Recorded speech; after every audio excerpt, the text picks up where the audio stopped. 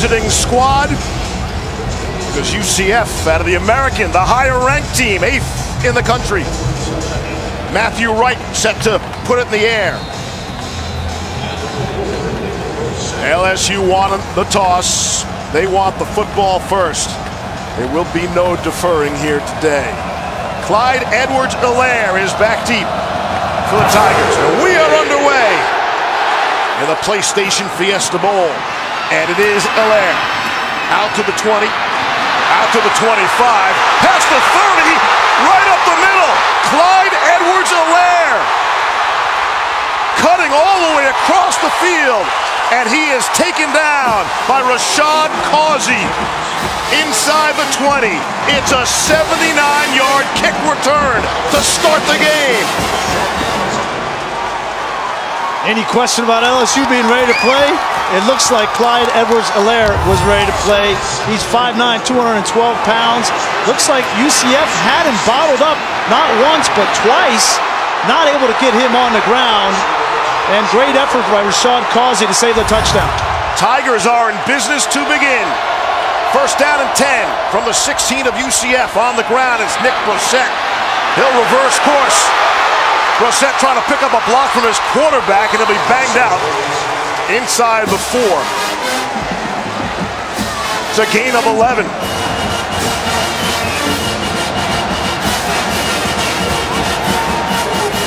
Joe Burrow, the quarterback, was proud to tell us this is his third Fiesta Bowl. He's picked up three Fiesta Bowl watches. He says the most recent one is the best one. Two Fiesta Bowls with Ohio State, but this first one he's had an opportunity to play in. First and goal from the five. What a start for LSU. Again up the middle, it's Brossette, and this time he's dropped for a loss. Trysten Hill among the Knights players to make the stop. UCF this entire season. They have given up yard after yard defensively, but when they get in the red zone, Steve, they have been up to the task. They only give up an average of 21 points a game, and that's the only stat that matters on the defensive side. Second down and goal after the loss. Burrow gonna keep it and crashes down close to the goal line. Going to be stopped short by Kyle Gibson. Bring up a third and goal. Last time we saw Joe Burrow against Texas A&M in overtime, he was running for touchdowns. Looked like he was on top of a player and may have crossed the goal line now. They're going to go fast. No, they're not. They got the buzz down just in time, and a flag comes out. False start. Number 77, offense. Five-yard penalty, third down. So no review. Guys, I'm standing about 12 yards away from the where he, I thought he crossed the end zone. I thought, like you said, Brian, that he was on top of the defender. Gave a great second effort, got the ball right on the goal line. It looked like Todd. His knees were definitely in the air. The question is the left elbow. Take a look at the left elbow or forearm. If that forearm goes down, that would make him down. But I thought I thought he did cross the plane of the goal line. And now you get pushed back after a penalty, and it's third and goal from the six. Not sure why you went up tempo there. Give him a chance to review it. Exactly. Here's Burrow to throw for the first time. Gets out of trouble. And the pass is incomplete. Dumped it off the turf. Nate Evans had the pressure, forcing Burrow into the mistake, and it's fourth and goal. Good pressure from Nate Evans. He was in man-to-man -man coverage. He's right here, and when he sees the back block, that frees him up. As soon as Brossette blocks, then he's going to go after. Burrow tries to get to Brossette, but the pressure by Evans prevents it. So this will be a win for UCF. Here's Cole Tracy on to attempt the field goal from 24 yards away. Snap and place are perfect. So too is the kick. Cole Tracy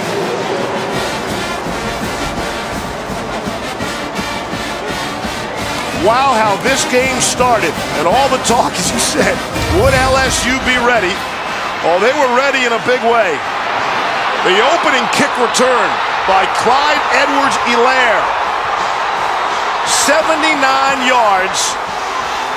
Winds up setting up the field goal in the end for LSU. And the story of Helaire 10 days ago out of Baton Rouge came the news that the running back and his close friend and teammate Jared Small were involved in a fatal shooting while trying to sell an electronic device. They were held at gunpoint in an attempted robbery. And the players used a legally owned handgun that was in their car and shot the man who later died at the scene. Police have concluded the players acted in self-defense and were not charged. Two young men what an awful, yeah, awful story. I mean, a traumatic story for those two young men. And, and for and for by all accounts, Ed Orgeron says that Edwards-Helaire uh, has handled this emotionally. They gave him the, the support that he needed. Avery Atkins slipped on the kick. And that allows an up man for UCF, Sean Burgess Becker, to come up with it. And so the Knights will have excellent field position.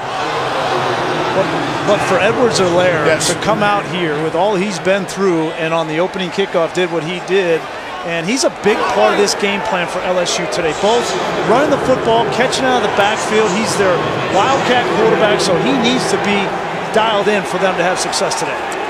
Coach Orgeron told us they had an 8 a.m. practice on the day of the, the tragedy. The players got done. They were on their way to go hunting. They got a phone call at noon headed for a hospital, grief counselors, and the Tigers and the LSU football family have been dealing with this since. First down and 10 for Darriel Mack. Hands off to Otis Anderson, and he'll try the left side for a couple of yards. For Darriel Mack, he is the backup to McKenzie Milton. This is just his third career start struggled with some ball control issues. Fumbled three times in the first half in the championship game against Memphis, only losing two of them. The throw to Mack. So we know he can throw, he can run, and we know he can catch. Great idea here from Josh Heupel early in this game, knowing LSU is going to be jazzed defensively, get them running to one side and throw the football back to DJ Mack. 22 yards on the trickeration. Adrian Killins, the ball carrier now. And he'll be close to another first down. Patrick Queen made the stop. Don't blink today because you, you might miss a snap if yeah. UCF has the ball. They're going to run the ball about every 15 or 16 seconds. Let's send the replay crew home. I mean, our replay crew. Here's Mack to throw and take a shot like the signals got crossed up looking with Tre Nixon. Kary Vincent had the coverage. You're going to see a lot of tricks in the back from UCF today. You see this, they hand the ball off, running one way, throw back the other. And DJ Mack at 230 pounds, he is not easy to get on the ground. Three rushing touchdowns in the American Championship game. He has to be a factor with his feet. Mack told us he's a man. He enjoys contact. He will not be shying away from it. Third down and one from the 34 of LSU.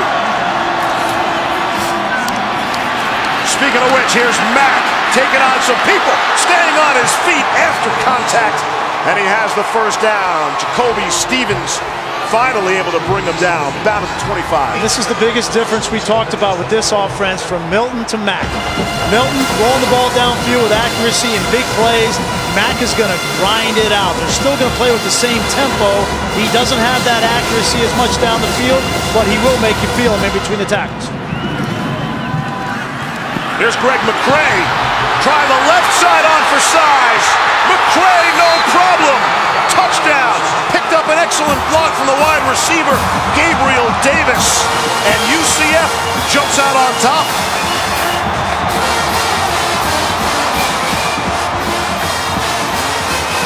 Speed to the edge by McCrae and blocking on the edge from those wide receivers. Hard to simulate. Take a look at Snelson, number five, coming in and blocking on Grant Delpit. Gets a hold of that jersey, got away with a hold. Official didn't see it, and McCrae. Arizona, quite the start.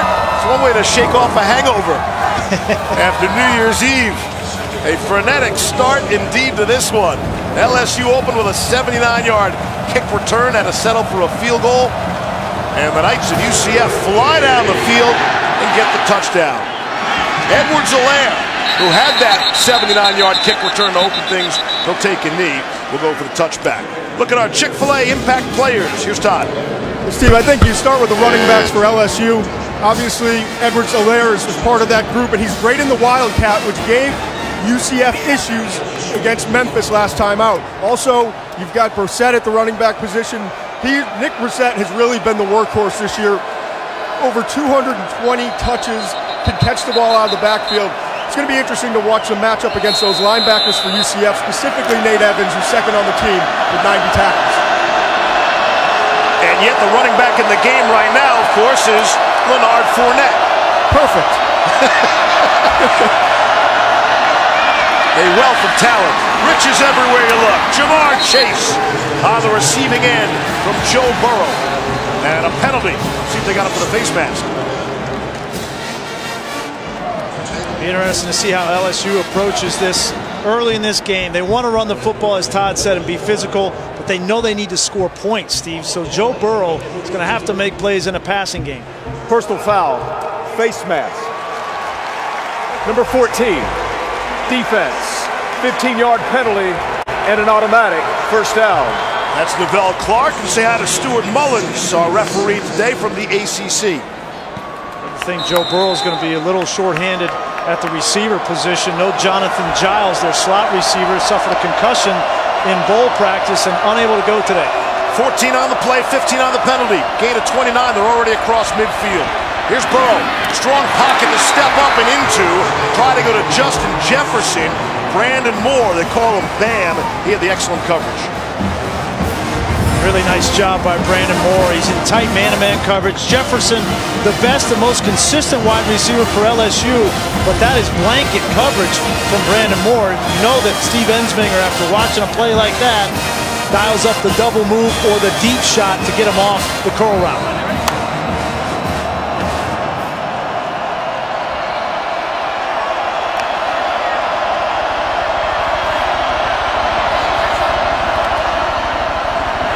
Burrow's going to keep it, and he is taken down. The big shoulder pads of Brendan Hayes. Burrow's been running a ton, probably more than they want him to. He took a big shot there. This is exactly what UCF wants to have happen. Two deep, man under coverage, and they run the football. Great stunt there by Hayes. If you think Hayes isn't fired up playing this game, his mom is an LSU alum. He's from New Orleans, Louisiana, from and wears the number six for the sixth ward in Katrina. Five minutes in, we're third and ten. Here's Burrow to throw. Steps up in a nice pocket. And a beautiful ball on the money to Justin Jefferson. First down yardage. They'll move the chains. Been really impressed with Joe Burrow. Watching him in practice this week. Watch him step up in the pocket and then identify the coverage and anticipate that throw. That is as good as you can do it on that deep out to Jordan Jefferson. Mentioned Burrow running the football more than they probably would like. He ran 29 times in that Texas A&M game in the seven overtimes. LSU still hasn't gotten over that. You know that 24-hour rule? Forget about it. That one, that loss has lingered people. First and 10 on the ground. It's Brossette who came in needing 78 yards to get to 1,000 on the season time. Burrow said he was so exhausted after that 29 rushing performance, the seven overtime that he went in, and he actually passed out. They had to give him IV, IVs to get him back up and going, and the, the entire team had to wait for him because he was in the locker room passed out, and they were getting medical attention. Those rush attempts, that was the most by an LSU quarterback, Reese, going back to 1943. Steve Van Buren carried the ball 43 times. You need an IV too if you played that. I don't think they had the overtime rule back then either. Here's Brossette. Cuts it upfield. He's submarining, goes flying over Richie Grant, the vocal leader on that back end for UCF. You really can't underestimate how much that loss meant to this LSU team because it took a lot out of them emotionally, physically. They needed that time off before this bowl game. Little tempo here for LSU on the ground. Brossette trying to push the pile on third and two, and he will get there. This is exactly how LSU wants offense offensively to attack this football game. A couple of throws to start the drive, loosen up the defense, but then control the line of scrimmage with their offensive line. Two of their best linemen, Cushenberry and Damien Lewis, the center and right guard, need to take over this game. And Ed Orgeron says the most important thing is controlling the time of possession, not giving UCF as many possessions on offense. Cushenberry and Lewis, the only offensive line players to start every game for LSU this season. Here's first down and 10 from the 18. Burrow hands it off to Brossette for a few. Pat Jasinski, the first player in for UCF. Kind of get the jitters out, both teams. Coming to Fiesta Bowl, big time game, a lot of nerves. Now you get in this situation after the two series on offense for LSU. Last time down, they weren't able to punch the ball into the end zone. I think they realized that red zone efficiency on offense and scoring points is going to be a big key to this game. This is the ninth play of the drive. It started from their own 25. Burrow tried to go underneath and could not hook up with Derrick Dillon. Rashard Causey made sure of that. We've seen a couple of times already in this game where UCF, their defensive backs, have been all over these routes. Brandon Moore was all over Jordan Jefferson, and that time Rashard Causey, who arguably is the best cover man on this defense from the nickel position, able to get over Dillon. Third down and eight.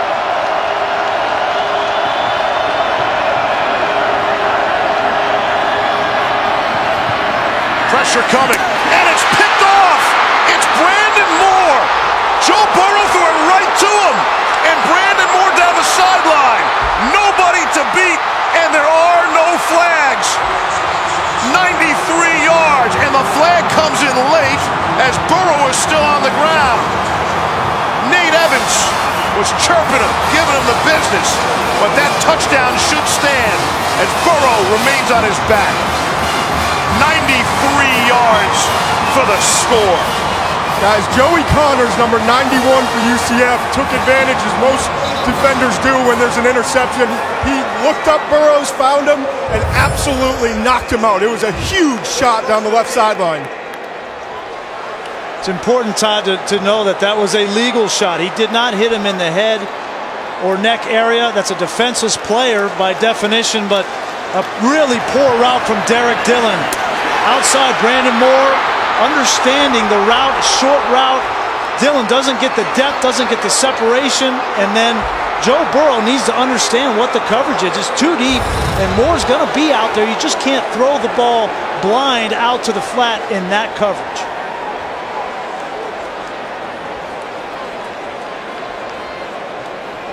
UCF has now forced a turnover in 32 consecutive games. To give you an idea how fascinating that streak is, the next closest team in the country is Indiana with 18 consecutive games forcing a turnover.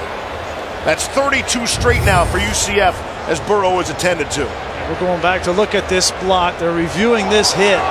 Again, Joe Burrow by definition is a defenseless player in these blindside blocks. Now, the question is, did Connor's helmet make contact in a forcible manner to the head or neck area of Joe Burrow.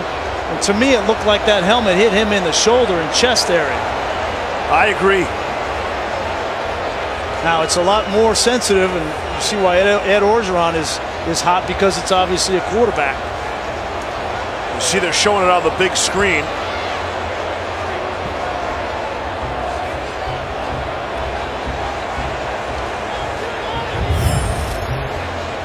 See if see if the helmet of or any part of Joey Connors gets in that head or neck area. It's certainly up there, but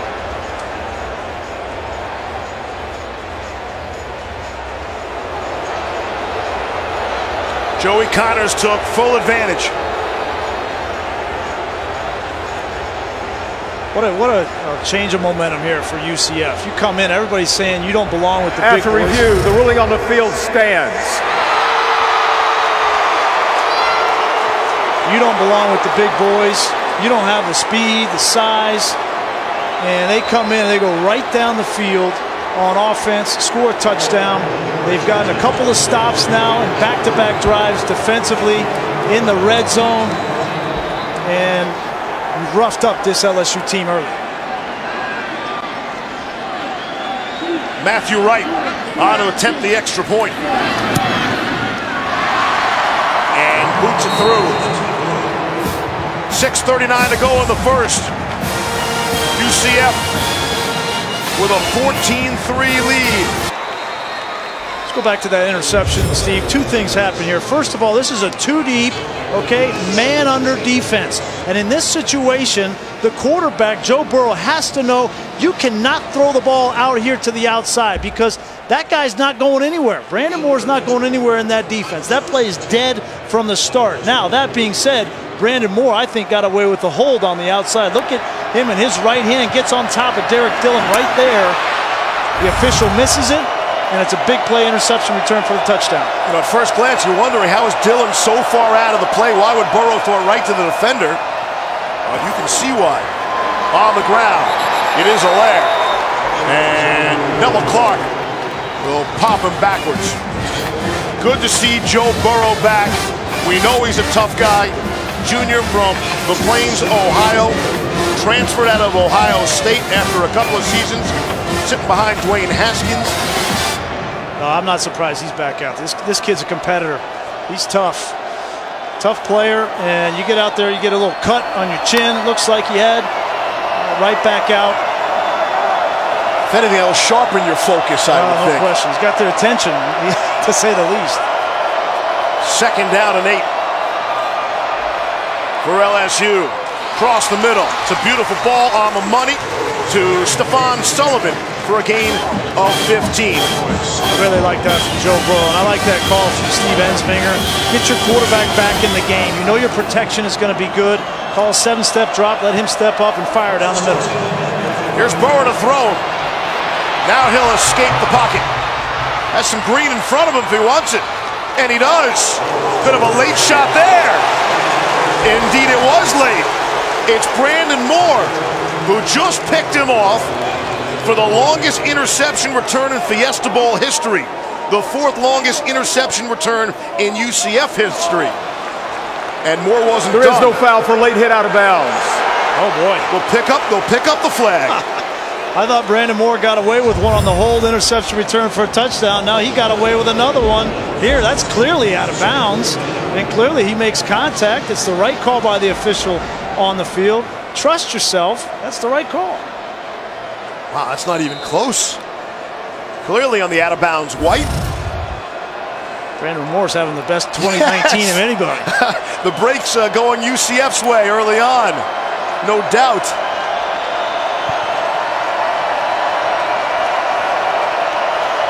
First down and 10. They pick up the hanky. On the ground, Edwards-Helaire. Loss of three. Eric Mitchell came up from his weak side linebacker spot. When LSU goes two halfbacks, a tight end, and two wide receivers, UCF is going to play their 4-3 defense. They're going to have three linebackers on the field.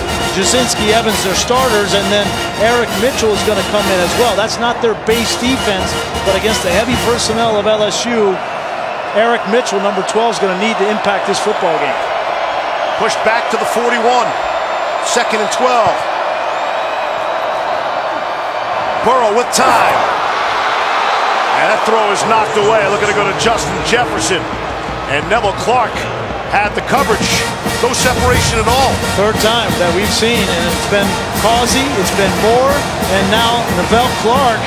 And this is pretty simple, the adjustment that needs to happen for LSU. You need to take the top off the coverage because they are sitting on everything. This feels like a big play in this game. Third down and 12 for LSU. LSU has tall receivers. Stephen Sullivan, 6'7", Dee Anderson, 6'6". Throw it up there, give them a chance to go get it. Here comes some pressure for UCF. They're going to get there. Able to get home for the sack. And the ball comes out late. Randy Charlton, the true freshman from Miami, who's really come on the last five games of the season. He's there for the sack. After the play was over, unsportsmanlike conduct, number 58, defense. His first of the game. 15-yard penalty, first down. That's Charlton, too. This is a chip. You would think this was an in-conference game, but these teams meet every year. Where you're going to see the safety, Kyle Gibson comes in. He's the one ultimately that's going to get to the quarterback. And you get a big stop. Your UCF, all the momentum is in your favor. And you get a true freshman that just doesn't, not thinking there. He's got the ball in his hand, spikes it on the ground, and you give him a first down. It's the emotion we were talking Yeah. about with, with UCF and Randy Shannon. He got a lot of young players on his defense that he's coordinating, and sometimes it's a roller coaster of emotion with them. That's his challenge early in this game. Excitable college kids. Here's Nick Brossette straight ahead. Richie Grant made the stop. Second down, inside the 30-yard line. UCF. This is an unfamiliar position for LSU. They'd only given up 22 points in the first quarter all season. They allowed only two touchdowns in the first quarter. One to Alabama and one to Texas A&M. And here UCF has put two touchdowns on them already. Talk about the roller coaster for UCF defensively, and there's no nobody on that roller coaster more than Trysten Hill, number nine, who just jumped off sides. Offside with contact. Defense.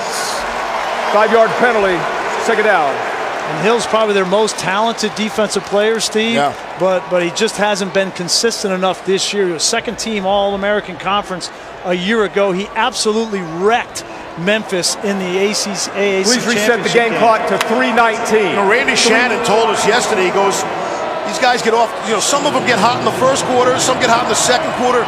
You don't hear that associated with defensive linemen. Right, a quarterback gets hot.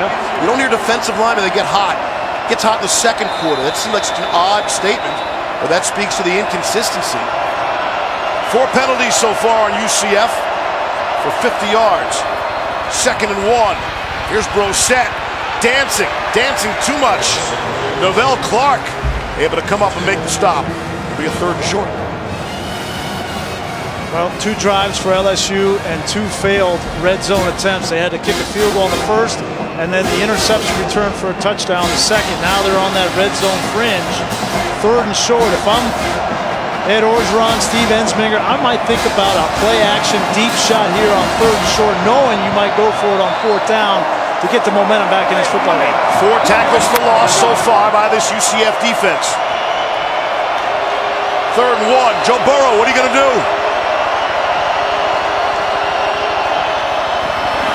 Gives it to Brossette. And he's going to be stopped again for another loss. Richie Grant, the first man in. Fifth tackle for a loss, and we've still got two minutes left in the first quarter. Mentioned. Richie Grant came up from his safety position, and a very conservative call. I think if you were going to go for it on fourth down like they are now, why not take a shot on third and short? Now you're talking my language, Goose. Fourth down and one. Going for it. Straight on the ground. It's Brossette, and he won't. Let's see. He just got across the line.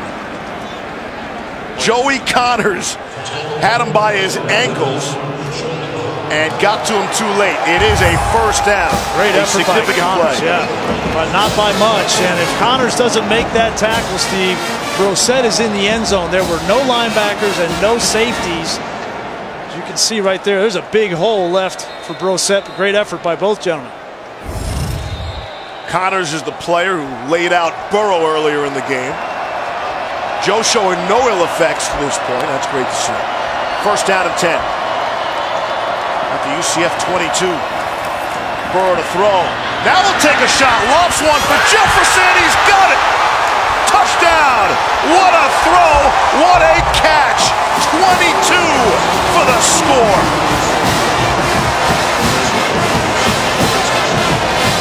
Third and short or first and 10 doesn't matter. As long as you take the shot and you make it. What a throw from Joe Burrow. What a comeback from him after getting interception return for a touchdown, knocked on the ground. That ball could not have been walked out there any better. And Jordan Jefferson, who's been their most consistent receiver all year, secures that catch. The Tigers were able to collect their breath just a moment now. Settle back into things. Cole Tracy puts it through.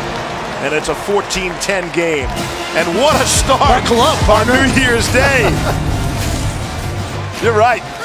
Joe Burrow, this feels like he's lived an entire game already. We're not. They got to get some rhythm going offensively. They've only had six plays in this game because of the interception return for a touchdown and two long drives by LSU. They just haven't been on the field. Coming up on the final minute of the first quarter. It's Taj McGowan. Patrick Queen came up to make the stop. Griese, I don't think I've mentioned Devin White's name on, a, on a single play. 60 seconds to go. Flag comes out. Let's see. It looked like they were set offensively. False start. Offense. There was no time when all 11 players were set prior to the snap. Five-yard penalty, first down. It's going to be a big key watching this entire game is that tempo that Josh Heupel loves to ramp up.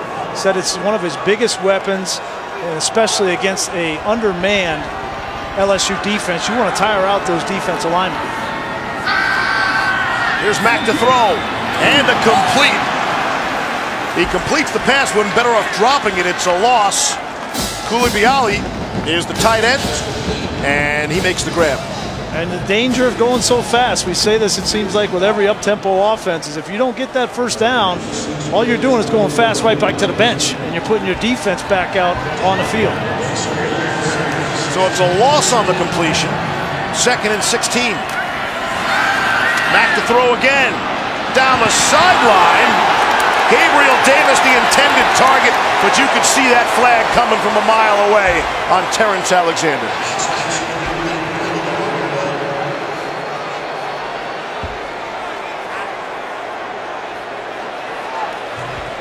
Terrence Alexander, last we saw him, was struggling against Texas A&M and Pass Kendrick Rogers. Number 11, defense, 15-yard penalty, and an automatic first down. And for UCF today with Gabe Davis on one side, Trey Nixon on the other, Dredrick Snelson in the slot along with Adrian Killins.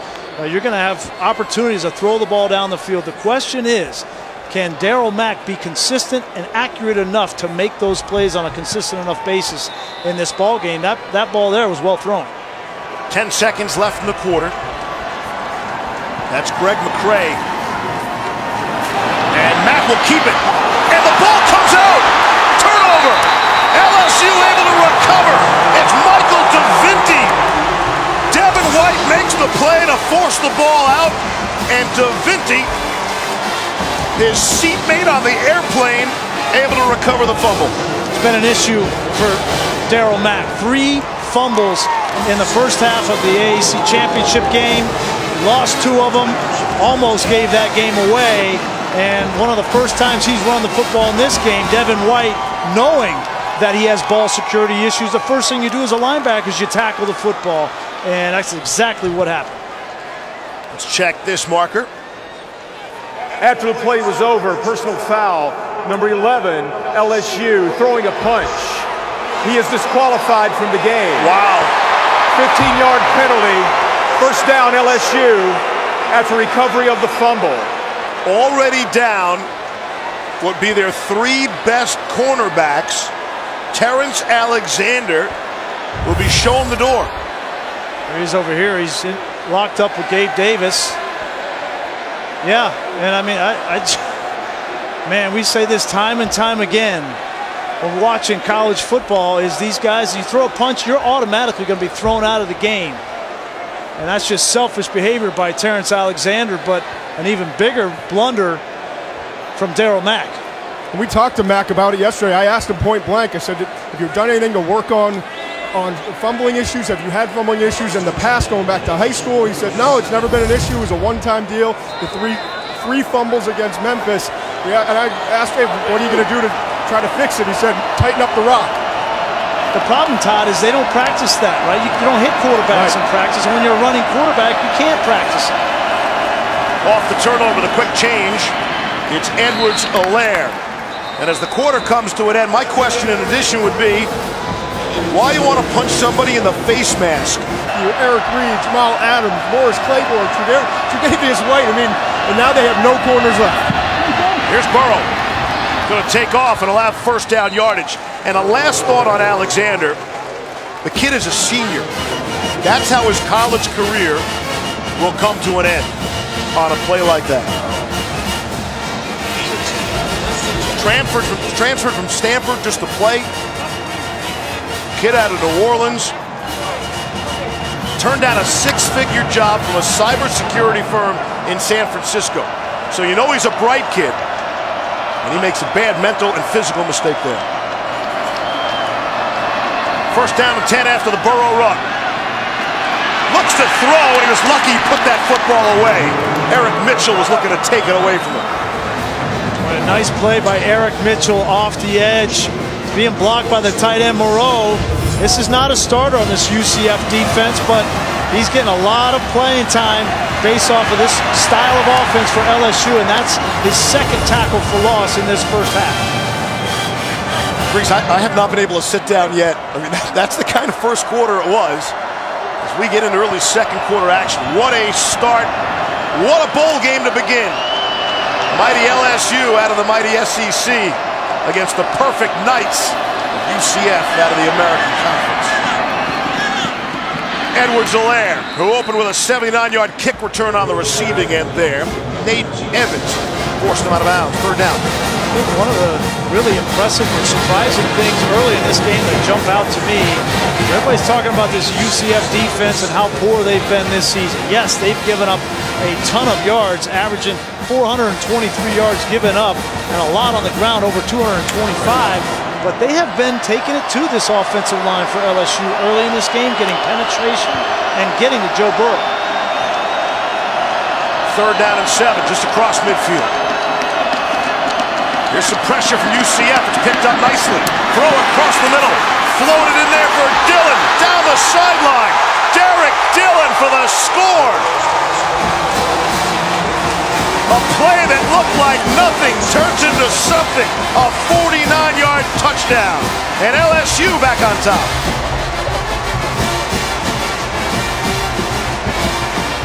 Well, Derrick Dillon was the culprit in the interception return for a touchdown. Joe Burrow doesn't give up on him. He beats the linebacker. Terrible attempt at a tackle from Richie Grant. He gets a, a block from Ja'Marr Chase. Kobe Stevens strong safety at the pressure. Third down. Interesting formation here. UCF going fast. Normally they want to throw that ball to Otis Anderson behind that offensive line, but the numbers didn't equate. And again, UCF, just like the last drive, in third and long after a quick three plays. 15. LSU threatening some pressure. Here's Netherly right here. You would want to target him, but LSU's going to protect him. Here's the blitz. Rushing five. Mack able to get out of there for the time being anyway. And did he get it away in time? Devin White was chasing him down. Incomplete pass. He was very close to the sideline, being forced out of bounds with the football. And they got man-to-man -man coverage and didn't look like Mack was able to find a receiver downfield, and once you start running as a quarterback, you know number 40 in white is going to hunt you down. That speed to the edge is unlike any other linebacker I've seen this year. And that's one of the reasons you win the Butkus Award as the best linebacker in college football. Mac Loudermilk. And all that salad and lettuce coming out of his helmet. He'll boot it away from his 10. Justin Jefferson will let it bounce. And it takes a UCF bounce in a big way all the way back to the 22. Up next, Urban Meyer. His final game as head coach of the Buckeyes. He'll take on Washington in the Rose Bowl game, presented by Northwestern Mutual. And then it's 15th ranked Texas and number five Georgia in the All-State Sugar Bowl. You can stream that game and every game on the ESPN app with ESPN Plus. I can't wait to see that Washington Huskies defensive backfield. That's one of the best, I think, in all of college football against Dwayne Haskins, Parris Campbell and company. You know, that, that defense has only given up nine touchdown passes all season. I think Haskins has like 47. It will be another great day in college football. They flip it to Jefferson. Thought he might want to throw it for a second, but he'll take the big loss. Titus Davis we got to get out of here quickly after the game. I want to watch Haskins going against that, that secondary and that defense of, uh, of Washington. He's, to me, has become the number one quarterback prospect in this year's class. I, I just think he's a pure passer. He got better as the season progressed, and he's played his best in the biggest games. Today's a great challenge for him, though. He's not going to see that man-to-man coverage, Todd, No, like no. he did against Michigan. It's going to be all zone. Jimmy Lake, their defensive coordinator, going to try to confuse him. It's because of Haskins Joe Burrows playing quarterback at LSU now. It's a win-win. Across the middle, Stephen Sullivan making people miss. Out beyond the 35-yard line. Richie Grant brought him down. And the linebacker comes right through the middle, and Joe Burrow is smart enough to know you throw the ball where the blitz comes from. That's where the vacated area was, and that's the perfect spot for the crossing route. Now let's give the punter love. Mac Loudermilk didn't give him credit, got a, a nice roll, but it goes for a punt of 58 yards to back LSU up. 19 on that last play.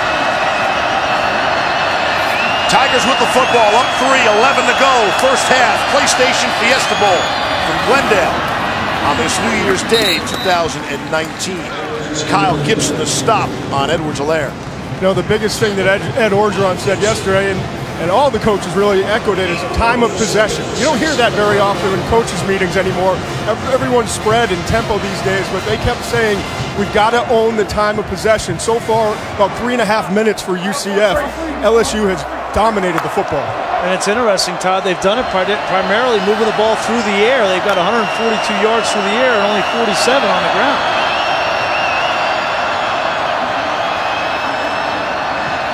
UCF showed blitz there. Burrow might have audibled out of it. Second and six. Good pocket.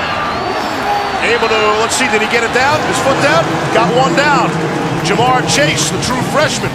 His second grab. Gain of nine. This is a great throw from Joe Burrow because Titus Davis is right underneath Chase, and that ball's thrown high, and a great job by Chase to get his feet down. You see this angle? That is not the kind of angle you want to throw into as a quarterback, knowing that Titus Davis has underneath of that out route, but Joe Burrow made it work. On the straight dropbacks by Burrow, the pocket's been excellent. No doubt. UCF really has not gotten pressure, yet they have five tackles for loss in the game so far. Majority on the running plays. Quick screen. Able to get it out to Edwards Helaire. Nevelle Clarke made the stop. UCF has not been able to get pressure without bringing blitzers. They have gotten a couple of sacks. Kyle Gibson, the safety, came and got a sack, and then Eric Mitchell, a will linebacker, but they've had to bring extra pressure to get to Burrow. That leaves them vulnerable in the secondary. Burrow has completed six in a row. He's got the Tigers on the move. On the plus side of the field. Second and two. Burrow gives it to Edwards Helaire. He spun around, taken down for a loss by Pat Jasinski. They call him Savage Pat. He hates that nickname. They still call him that anyway. Boy, filled that hole.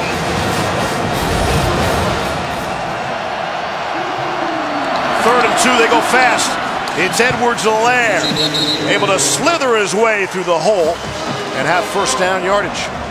Give credit to Steve Ensminger. He's he's mixing his tempos.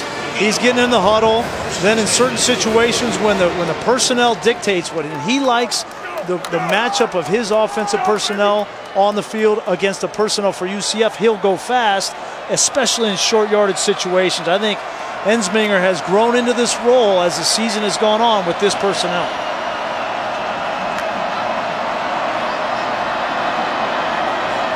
Sullivan in motion, bottom of your screen.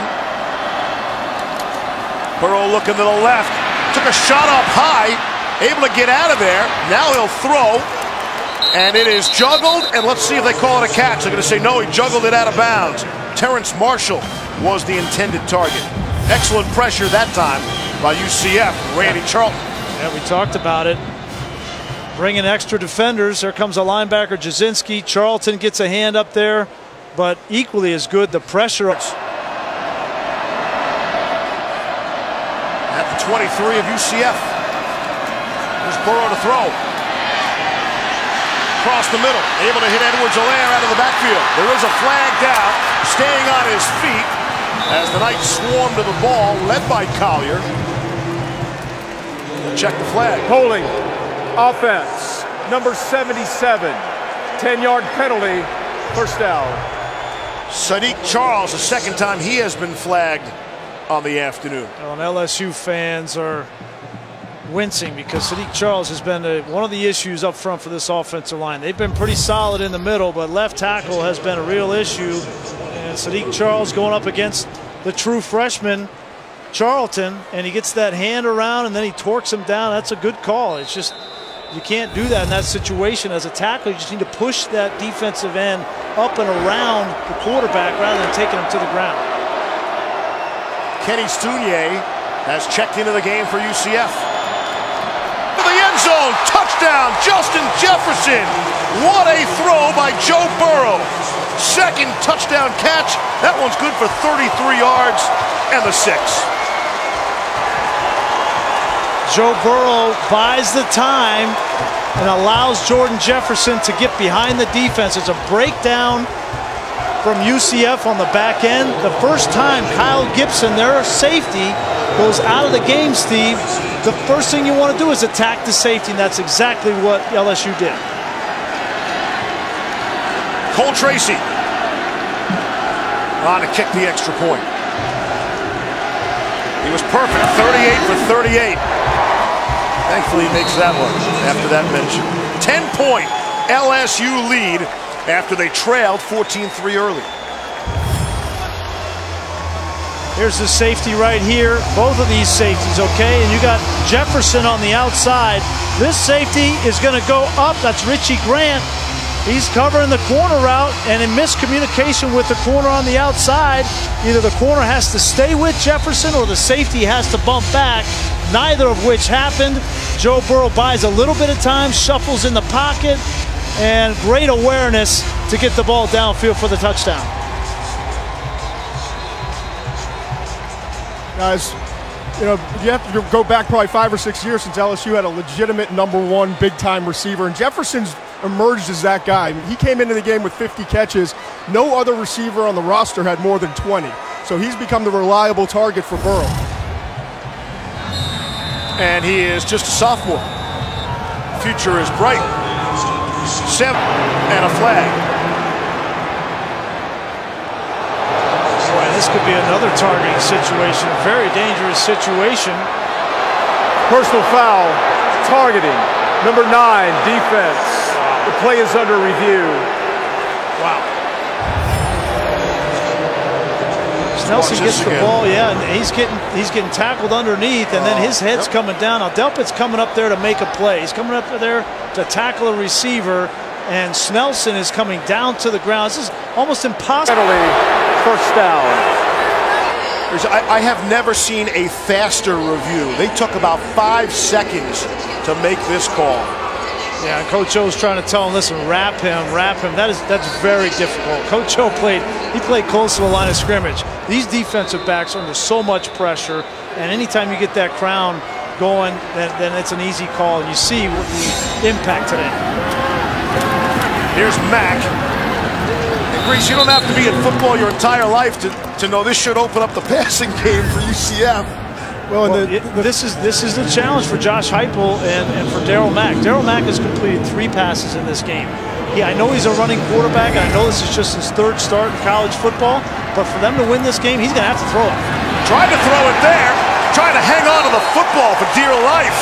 Jacoby Stevens gets to him.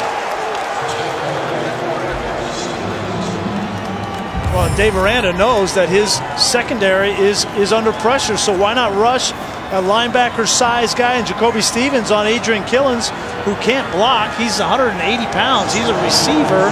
That's a mismatch. So credit Dave Aranda. Despite the losses he's had, he's going to bring more pressure, not allow a young quarterback to beat him throwing.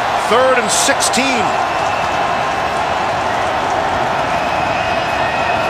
You can see the wide splits too. This Josh Heupel offense a lot like Baylor's. They're going to isolate these corners on the perimeter from some late pressure. It's picked up.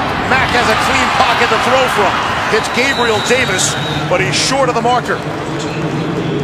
Manny Netherly had the coverage. Devin White there as well. Yeah, this is what you got to do. And Netherly, you know, he hasn't played a whole lot out there. Gabe Davis going for it on fourth down. Going for it. It's batted up in the air. And it will fall harmlessly down to the turf.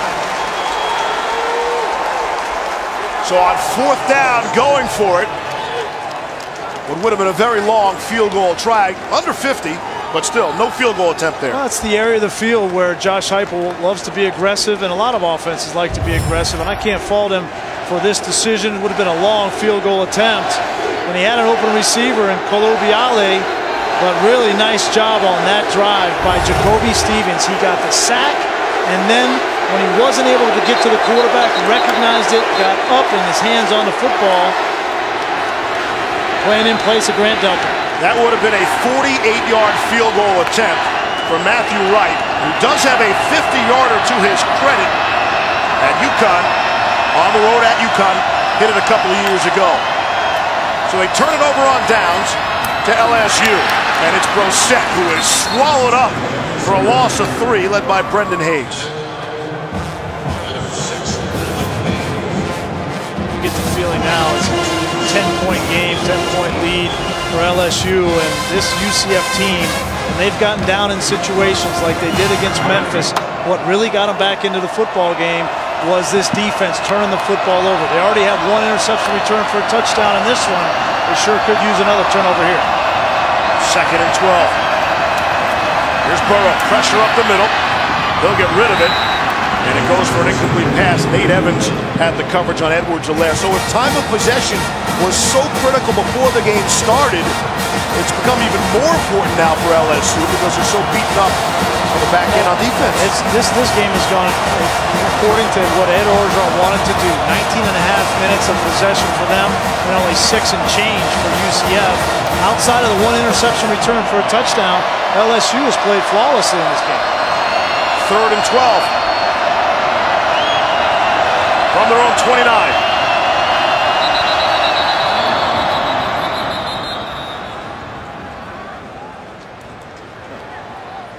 Timeout. UCF, their first of the half. 30 second timeout.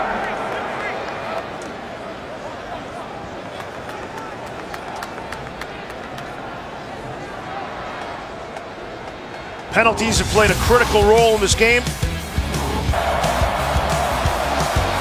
They had to stop on third down. UCF did, and then Charlton spikes the ball, gives them another first down, and Joe Burrow and company make them pay with the Jefferson to the end zone. And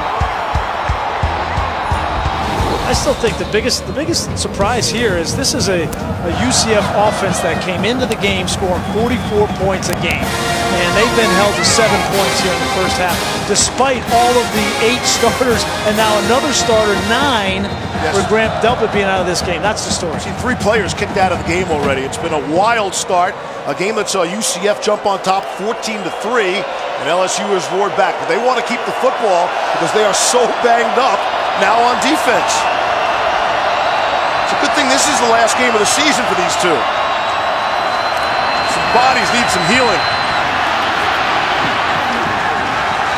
Burrow just dumped that away. Joey Connors trying to chase him down. And it's fourth down. UCF is getting the football back. That was a must stop there for UCF. They didn't get the turnover, but that was a must stop to give their offense at least one more opportunity here with four minutes and six seconds left before halftime to get some momentum back in this game. Zach Von Rosenberg is back to punt. First time LSU has punted. Otis Anderson back deep for UCF. Signals a fair catch. And there's contact. And that's Devin White. The all-world player for LSU. 46-yard punt. He hasn't had a chance to hit Anderson yet. He just Kick catch interference, number 40, kicking team. 15-yard penalty, first down. Now, granted, it's a love tap, but it still counts. Discipline has been an issue here in the first half, Chris Cotter. tackling is an issue for Iowa. Hayden Fry's watching this play and he's shouting, Bloomin' Onion, can somebody please tackle Nick Fitzgerald in the Outback Bowl? Now he's got some blockers in front of him. Forget it, 33 yards for the score. Very entertaining over on ESPN2. Mississippi State by two. All right, Chris. UCF trailing by 10. Four minutes to play in the half. They've got the football. They'll start with great field position. Out at their own 38-yard line. Mack underneath the Killins. Doesn't get back to the line of scrimmage. Patrick Queen forced him out. Remember, Adrian Killins was the player a year ago who said Auburn hasn't seen the kind of speed we have. They're in for a rude awakening, and that got a whole lot of people's attention. Uh, he didn't say anything the sort about LSU. Sort of backtracked away from that angle this time around. Here's Mack being chased down, tripped up, tried to throw it away as he was in the air. Patrick Queen got to him, and there's the flag. That'll be intentional grounding. You can almost see. Intentional grounding. Number eight, offense. Spot foul, loss of down. Third down. You can almost see Darriel Mack, a young Darriel Mack, thinking through this game, right? Trying to throw the ball downfield, then pressure gets to him. Then he realizes, oh no, I got to get rid of the ball. He's outside of the pocket, but that ball has to get back to the line of scrimmage. And another drive looks like it's going to be foiled for UCF. I don't, I don't, I don't think Josh Heupel should get into any tight situations. McKenzie Milton can handle these pressures. He can diagnose them and hurt you with his arm. Darriel Mack is not there right now. Spot foul, the loss of down. All the way back to the 13. It's Greg McCrae, the ball carrier. Rashard Lawrence makes the stop for LSU.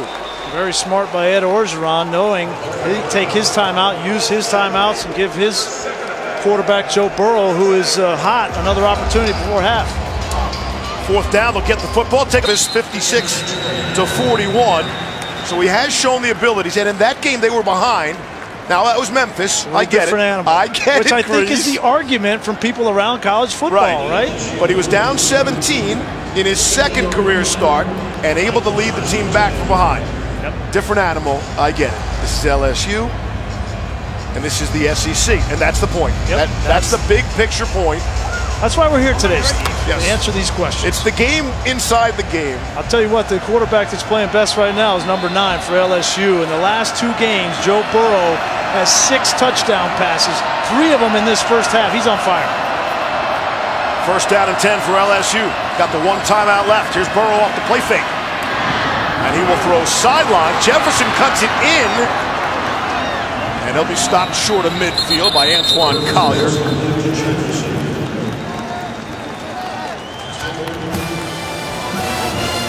Aerial coverage is provided by Goodyear from kickoff to the final whistle. Hard work never gives up. Goodyear, more driven. What, what did Boomer used to call this place? The big toaster. it's not necessarily aesthetically pleasing from the outside, but you love I this love place. it. I love it. This is one of my favorite places to play because you have the, the grass, which is nice and soft, but perfect conditions on the inside. Here's Burrow to throw. Little slant to Ja'Marr Chase, who has definitely been a weapon. He's inside the 40, stopped by Richie Grant. It's a gain of 15. The true freshman's been very good. LSU coming into this game, you know, some questions about their offense. They had a great game against Texas A&M, but uh, they come in averaging a little under 400 yards of offense and 31 points, and so far they have they have it all going. 271 yards in the first half, and they're going for more points here. They might get 30 before halftime. No pressure at all. Burrow has all sorts of time and then misfires looking for Justin Jefferson. Pat Jasinski came over and had the coverage. So this is the real grass played inside a domed stadium, which makes it so unique. Uh, this surface is being played on for just the second time. It was brand new for the Cardinals game last week. See some of the Cardinals uh, logos on the field on the paint underneath. The kicker Avery Atkins, we saw him slip earlier on that opening kick. So It's the best of both worlds. you probably won every game here, Griese. That's Well, why the Cardinals weren't very good. They're not very good this year either. Their worst record since 2000. Plus Steve Wilks, his job. Here's Burrow. The throw down the sideline. Sullivan wants a flag. Thinks that he was hooked by Antoine Collier, but there is no penalty mark. I like that uh, approach there from, from Joe Burrow. Kyle Gibson, their starting safety, out of the game. His replacement, Antoine Collier. You get Sullivan at six-seven, matched up on a safety. That's worth a shot. But if you're going to miss, miss short and allow Sullivan to go back up with that big body and make a play. Third down and 10. Ton of time left. still the one timeout. And a great kicker, maybe the best in college football on Cole Tracy.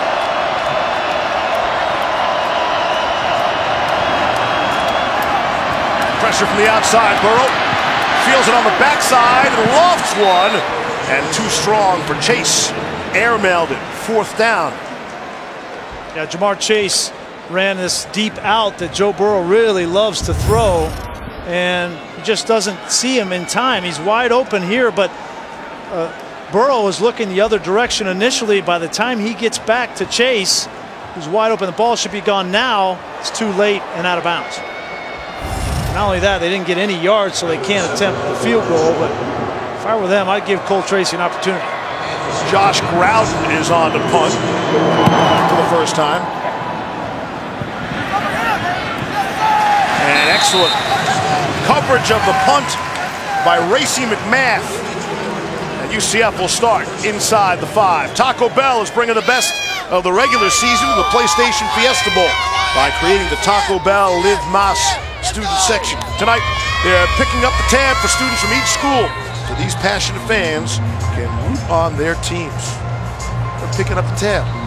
Who says no such thing as a free lunch? Go to town, kids. Who needs a shirt?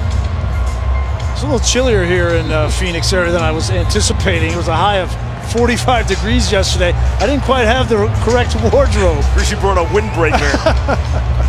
it was raining and freezing in the desert. UCF with just 85 yards of offense. Trying to put something together in these last two minutes. It's Colubiale, the tight end.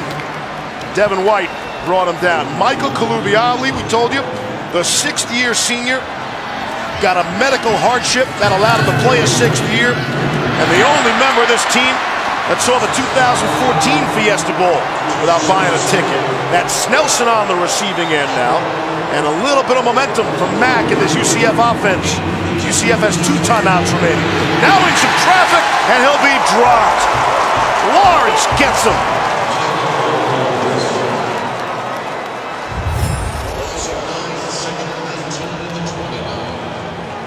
Defensive line, this SEC defensive line. Rashard Lawrence just goes right by the left guard Schneider. No chance for Mack. Mack will pick up a few. This is eating up valuable time. Valuable seconds coming off the clock. Down to a minute left in the half. UCF still with two timeouts remaining. It's third and nine. There's a flag. Bit of a free play. The ball comes out. UCF able to recover. Michael Divinity, who picked up a fumble earlier in the game, nearly got that one. They're going to get Rashard Lawrence. Offside. Number 90, defense. Five yard penalty. Repeat the down.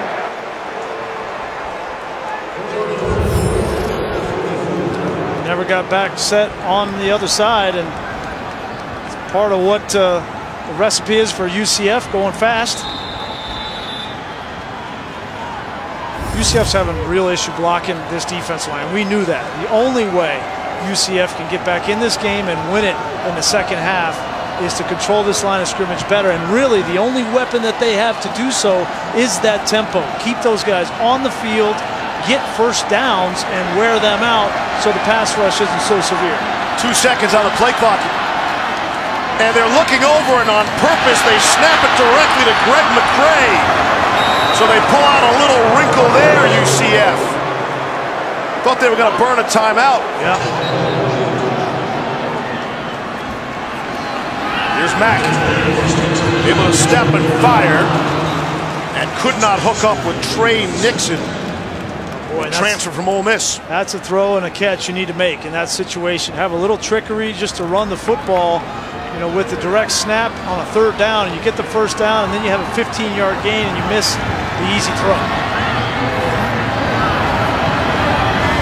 They can throw the slant route up top here to Snelson anytime they want. It's an easy throw for Mack. He doesn't have to read a whole lot, and you get the ball in your playmaker's hands easily. Giving this LSU time, defense time to catch their breath. Mack to throw across the middle. There it is, Gabriel Davis. There it is, two slants on the inside. Gabriel Davis and Snelson. John Battle is down an injured player for LSU after the gain of 16. Tigers can ill afford to lose another defensive back. No question. I think this is something that, that UCF needs to do. Josh Heupel needs to call this going into the second half more. You see Snelson here, Davis here. This is where the ball needs to be thrown. It's an easy read, as I said, and when you look at it here, the ball's out. So look at these holes. Look at these holes on the inside. Because of the inexperience for LSU in the back end, you have to throw the football to win, and those are the easiest kinds of throws for Mack. At halftime, stay tuned for the Indeed halftime report. Rece, Desmond, and David are standing by. The most glorious sight in the sports world at the Rose Bowl in Pasadena. So Ed Paris checks in. I think they've played every defensive back they have for LSU. As Battle comes out, we'll see how long he comes out for. He only has to miss one play. The only, the only good news is Ed Paris is a senior. He was uh, supposed to be the starter a couple of years ago, got hurt in preseason camp, so it's not like he's a, a true freshman. Jacob Phillips will get out of the locker room in the second half for LSU. Starting middle linebacker called for targeting in that Texas A&M seven overtime loss. So they will welcome him back with open arms. Clock is moving under 30 now. Back to throw. Set up the screen and McCrae. Turns the corner, gets a couple. Patrick Queen has been very impressive for that LSU defense. Clock is stopped at 17 yeah. seconds. Todd Harris lost his helmet, and so he's going to have to come out of the game. And good thing that John Battle wasn't too shaken up because he's coming back into the game. I think he's their only left safety they have left on the sideline. And hospital visits. 17 seconds left in the half. Here's Mack. Swallowed up by Rashard Lawrence. Again, his second sack. You know, he went to bed early last night. They call him Uncle Phil from the Fresh Prince. Goes to bed at 9.30 at night on a regular night. They tried to get the back matched up on that wheel route. It was Otis Anderson. Here he is. He's going to come out of the backfield. The problem is Mack doesn't have enough time. This defensive front is too good. Coming, there's Lawrence. He wants to throw the ball here, but the safety over the top prevents it. And the left tackle Wyatt Miller not able to block Lawrence. I feel like on these last five snaps, when you know UCF is throwing the football, they are still going play action. What is the point of faking to the back every single play when you see what's left on the clock?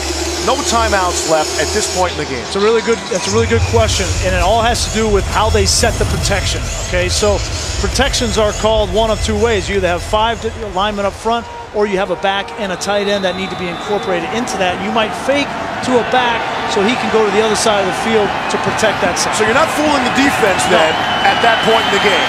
Here's Mack to throw steps up and fires back to the end zone. Davis is there for the touchdown. Gabriel Davis on the receiving end of a strike from Darriel Mack for 32 yards and the score.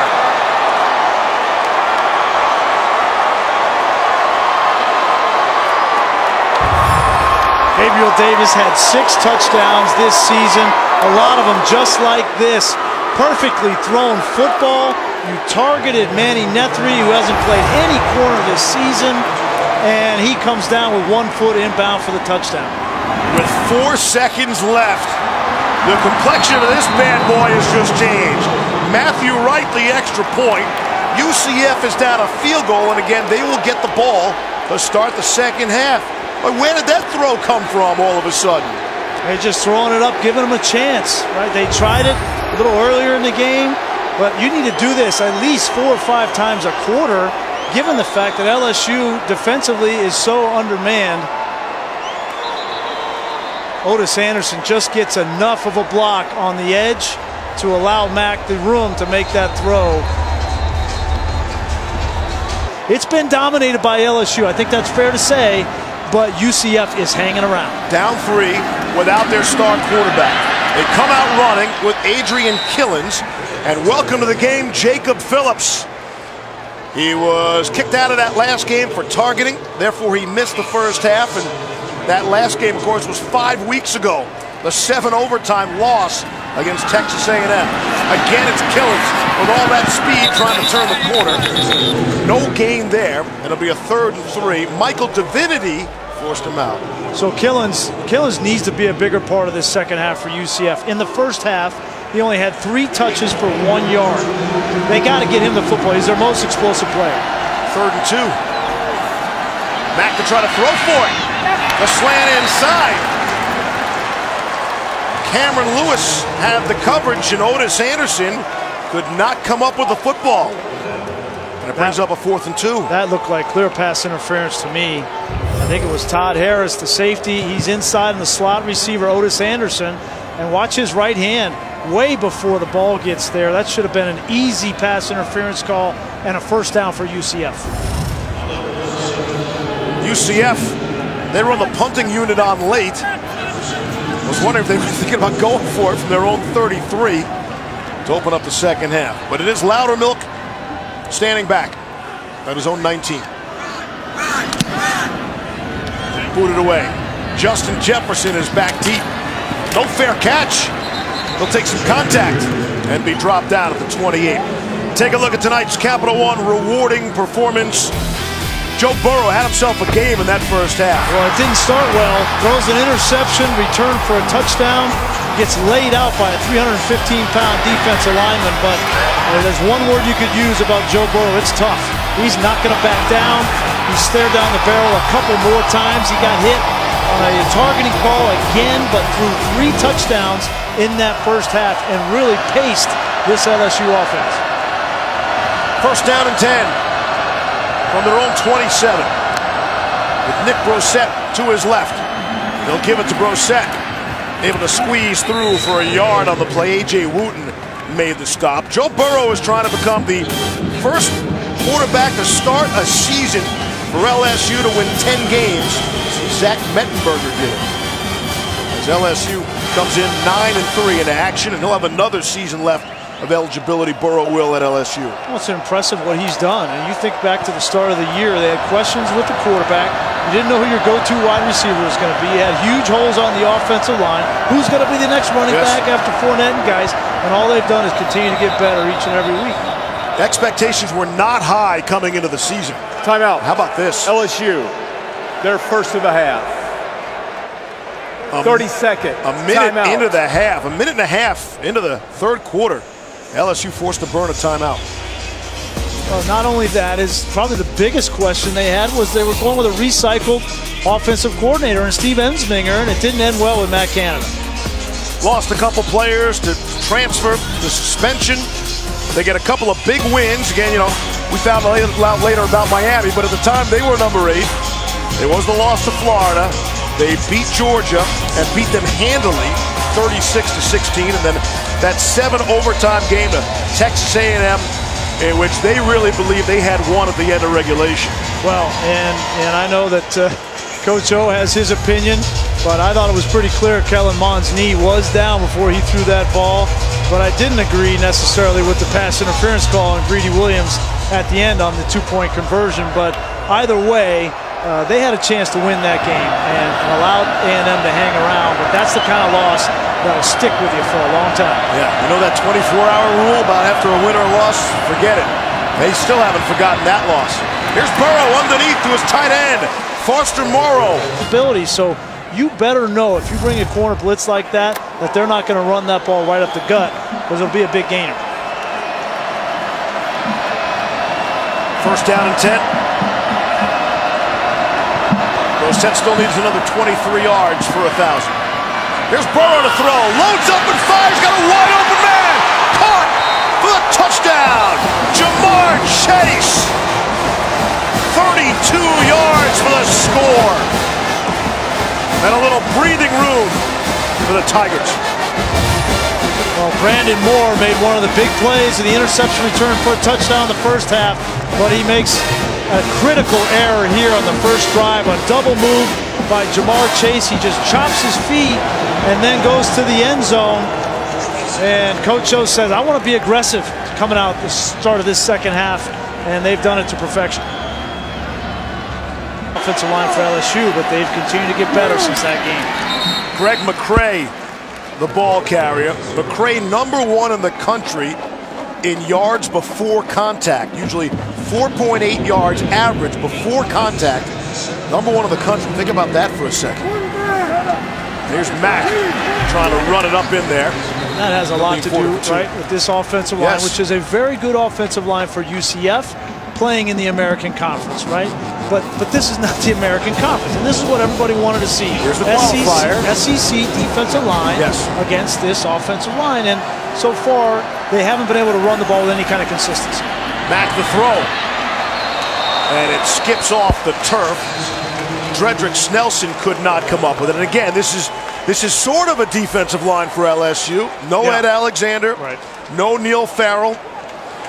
No Breiden Fehoko.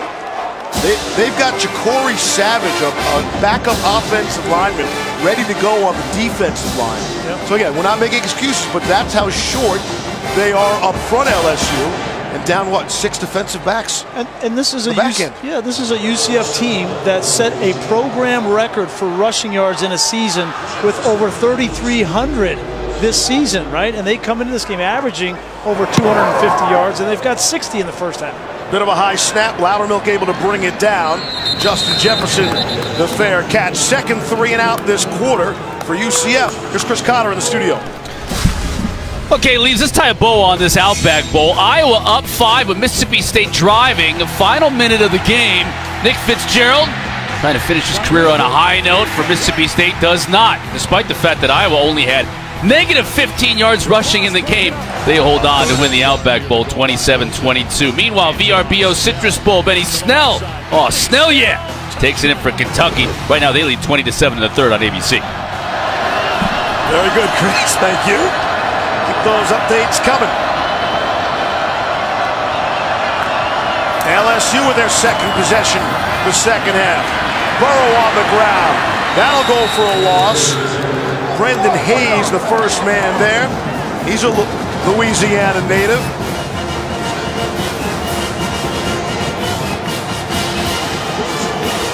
Loss of one on the play.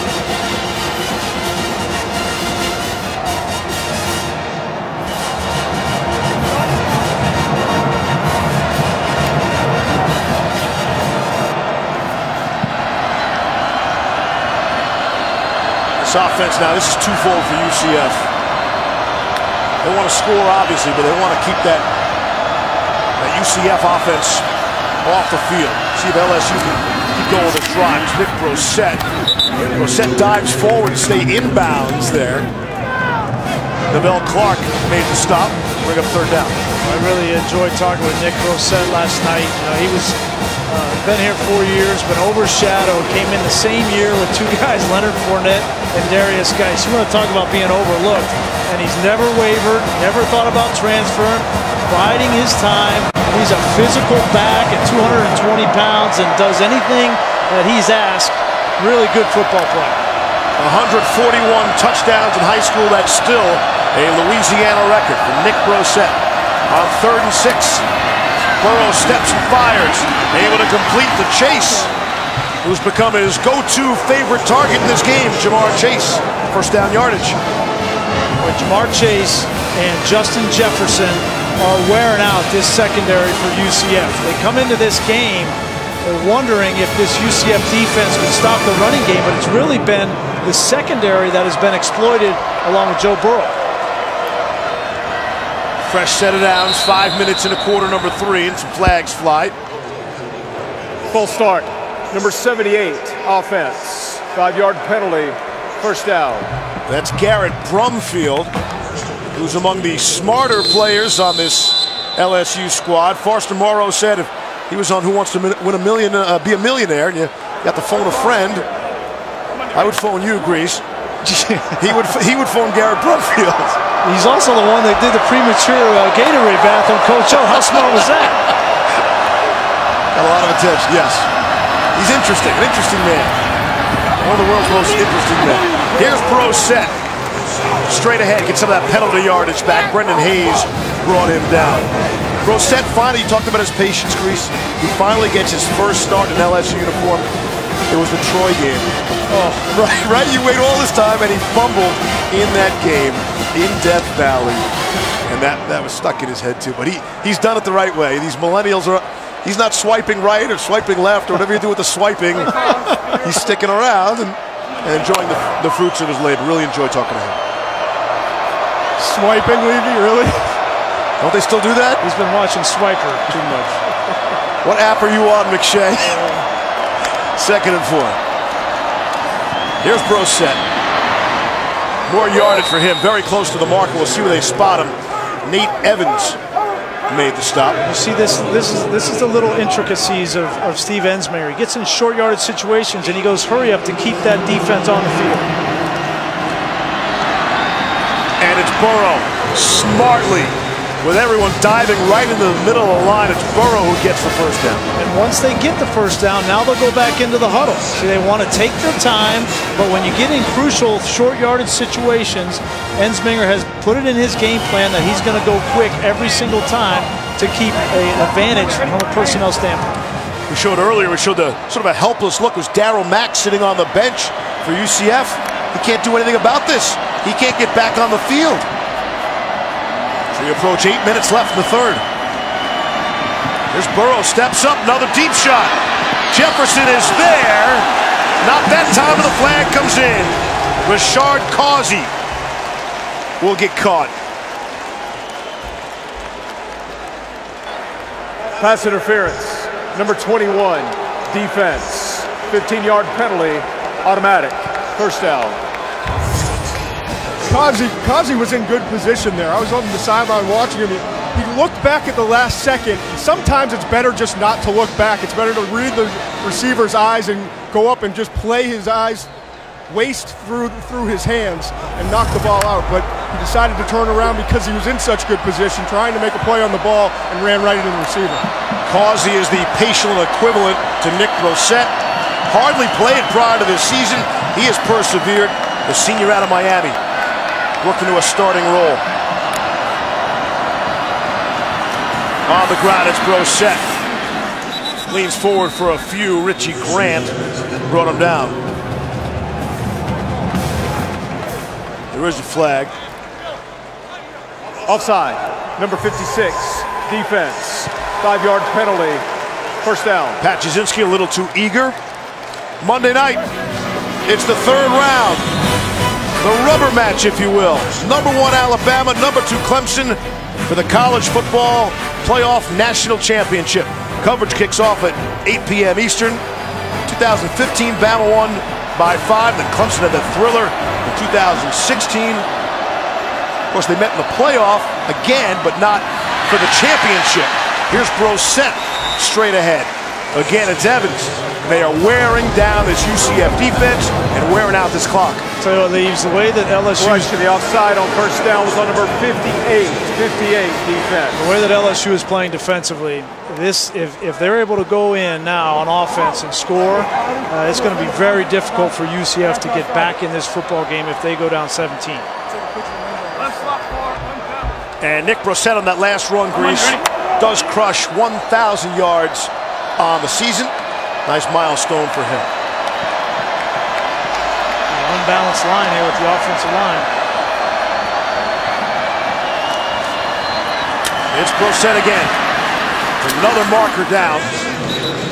Inside the 10. Nate Evans to stop. Illegal formation, more than four players in the backfield. Offense, five-yard penalty, first down. Tried to get cute with the unbalanced line, bringing Saahdiq Charles over from the left side to the right side. You can see here's a tight end, and here's Charles. But uh, too many men in the backfield.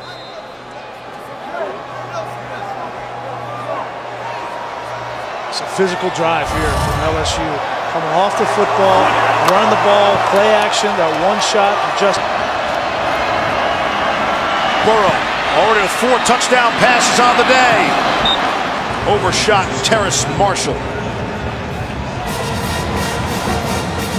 Important third down here, obviously, for LSU and for Joe Burrow. You don't need to get all of it in this situation. If you got three points in your back pocket, which would make this a two-touchdown game, and for UCF, they're in dire need of one of those patented turnovers, 27 on the season that they've had.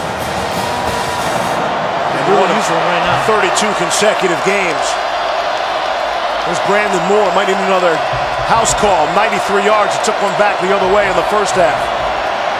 Set up the screen on third and 12 to Edwards Helaire. Offensive lineman. couple things here. The fact that Damien Lewis jumped off means that they had a play called. They wanted to run a play because if you didn't call a play, how do you jump off, right? So if that was just going to be, we're going to go up and see if we can get a cheap one, then nobody would have jumped off at LSU. But now it's very clear you kicked the field goal. 10th penalty on LSU so far. It has not been a disciplined game for either squad. Here's Cole Tracy from 28. On the way. And it is good. So no SEC statement there. It's merely just a field goal to put LSU up by 13 points. As soon as we are through here, particular game you have a rather great experience with, the Rose Bowl. We're going out west. Of course, it's Ohio State and Urban Meyer. That's the headline. I was amazed to know this. He has never been to the Rose Bowl before coaching in it. He said the beauty of it is even more remarkable than he ever dreamed. That's going to be uh, a fitting way for him to go out. Certainly, uh, you grow up in the state of Ohio, or you play in that rivalry, Michigan, Ohio State. You want to go to the Rose Bowl, and so what a fitting way for him to go out. Interesting how he will coach that. Will he be full on making every call, or will he allow hey Ryan Day, you know, handle some of this? I'll take some of this. It'd be interesting his his approach to Yeah, it. I think. I mean, Ryan Day calls the offense, Right. and, and Urban kind of makes his suggestions. But uh, I don't think he's going to change that at all. I think you got you got to let Ryan Day. You think it's full on, hands down, we're doing the whole thing? Hopefully, it's not as stressful The as whole this season has been. But I know this: Washington will come to play. They'll try to make it as stressful on him as possible.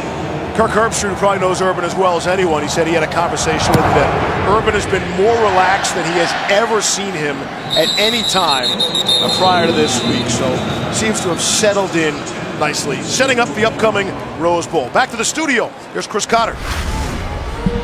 Kentucky and Penn State Wildcats looking to put this thing away in the VRBO Citrus Bowl. Benny Snell, you later. He became Kentucky's all-time leading rusher in this game, and Kentucky's up 20 on ABC. Wow, the SEC again. I know there's uh, seven SEC games in the next couple of days. Yeah. Penn State getting hammered. Uh, Trace McSorley's last game. There's Mack to throw down the sideline. It's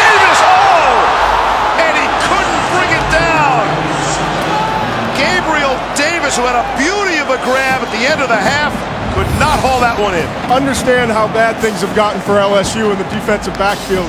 So many in- injuries. Greedy Williams not here. They had to move Jontre Kirklin over to over to the defensive side. They he was a wide receiver, and they had to move him to cornerback just because they they don't have enough guys. I talked to an assistant right before the second half. He said they're down to five defensive backs in total, three safeties, two corners. He asked me if I if I still could backpedal. I told him I never could. Five defensive backs. Griese, even I know they won't be able to play the, the dime.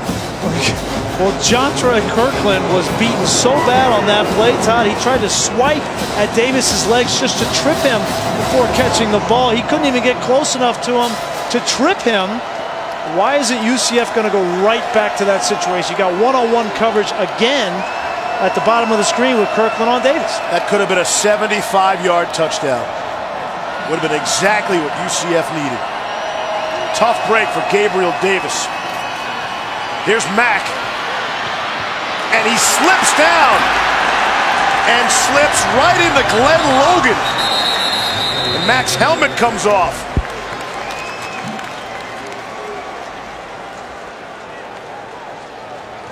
Boy, I do not understand why Josh Heupel and Darriel Mack are not throwing the ball, targeting the same play they just they threw earlier to Davis down the field. Just trying, whenever Darriel Mack gets his eyes down and starts to look at the rush, bad things happen. When we talked with Dave Aranda, the defensive coordinator for LSU, he said, my number one goal is to get enough pressure for Darriel Mack to bring his eyes down. That is his Achilles Please heel. reset the game clock to 4 minutes 15 seconds, which is the time when the player's helmet was removed.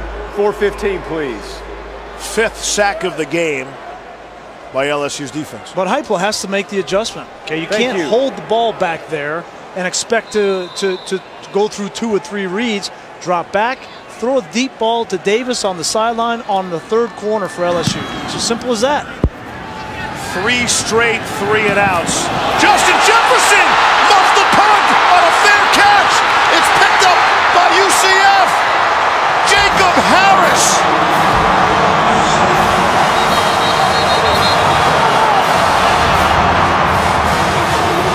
looked like Justin Jefferson, did he signal for a fair Yes. catch? Muffs the punt. Can't advance that, right? So it wouldn't be a touchdown. But these officials down here, look at Jefferson. Definitely a fair catch and Fair catch. definitely a muff punt. Oh, he slips. That's what happened. Yeah, Ruling on the field is that the kick was muffed by the receiving team and recovered by the kicking team. By rule, a kick cannot be advanced. It is first down and 10 for UCF from the spot of the recovery. It looked like the field. He slipped with Yes. his left foot, and that's what caused him to watch his left foot. His right foot, and he goes down. Got to make sure that wasn't a catch and then down, but that's clearly a muff punt and a huge break for UCF. And Rece, full marks to Mac Loudermilk. It's a great punt that sends Jefferson going backwards. It's a 52-yard punt. That leads to the slippage. And that leads, in essence, to the turnover. Wow. Just what UCF needed.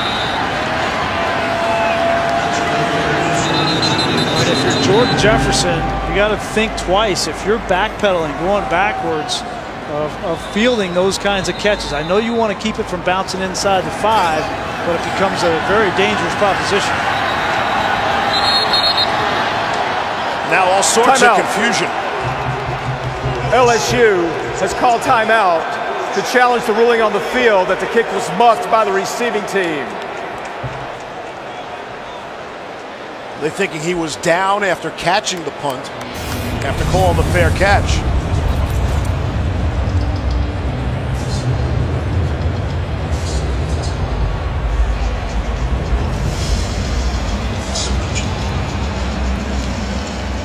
The uh, replay booth is going to take a, take another look at that.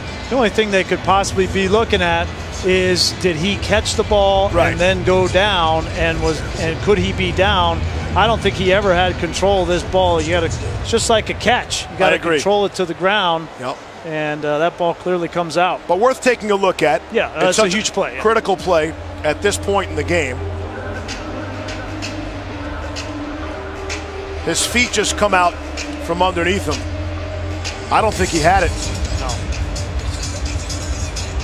You got to think just like a catch. It's just like he was catching a ball thrown by a quarterback, and he never had possession of that ball.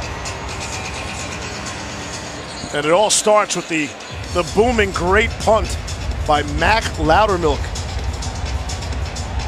Boy, and UCF has done this time and time again.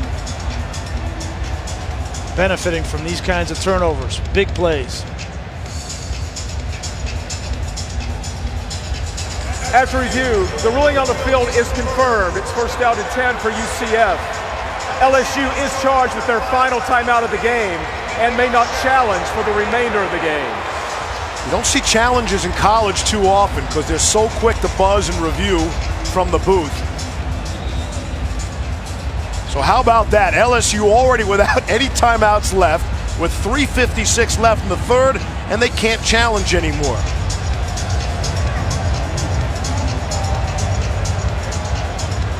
Well, that's gift wrapped. Yeah. Gift wrapped opportunity Yep. for the Knights of UCF, the number eight team in the country. Here you go.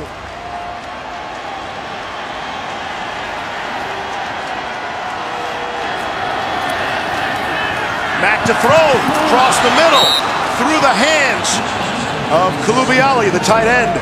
Well, he had Colubiale, and if he and if he's able to complete this, it's going to be a touchdown. Here he comes from this side. He's going to get the ball right behind Devin White. That's a good throw from Darriel Mack. UCF goes quickly. It's McCrae. He swung around, picks up about five, stopped by Devin White. And Griese, I think Darriel Mack deserves a better fate at this point. He dropped that ball in perfectly for Gabriel Davis. Yep. Should have been a 75-yard score. That last pass dropped by his tight end. Here's third and five. Oh, man. Big false start here. False start. Number 72, offense. Five yard penalty, third down. That's the center, Jordan Jefferson. But you get in a third and five situation, you got to think that Josh Heupel is thinking four down territory here. So third and five, you can run your quarterback and get in a short yardage situation. But third and ten is a completely different animal. The penalties, 20 accepted penalties, 10 for each squad. Watch Kirklin, one-on-one with Davis again. Mack the throw, back of the end zone, and Davis can't haul that one in.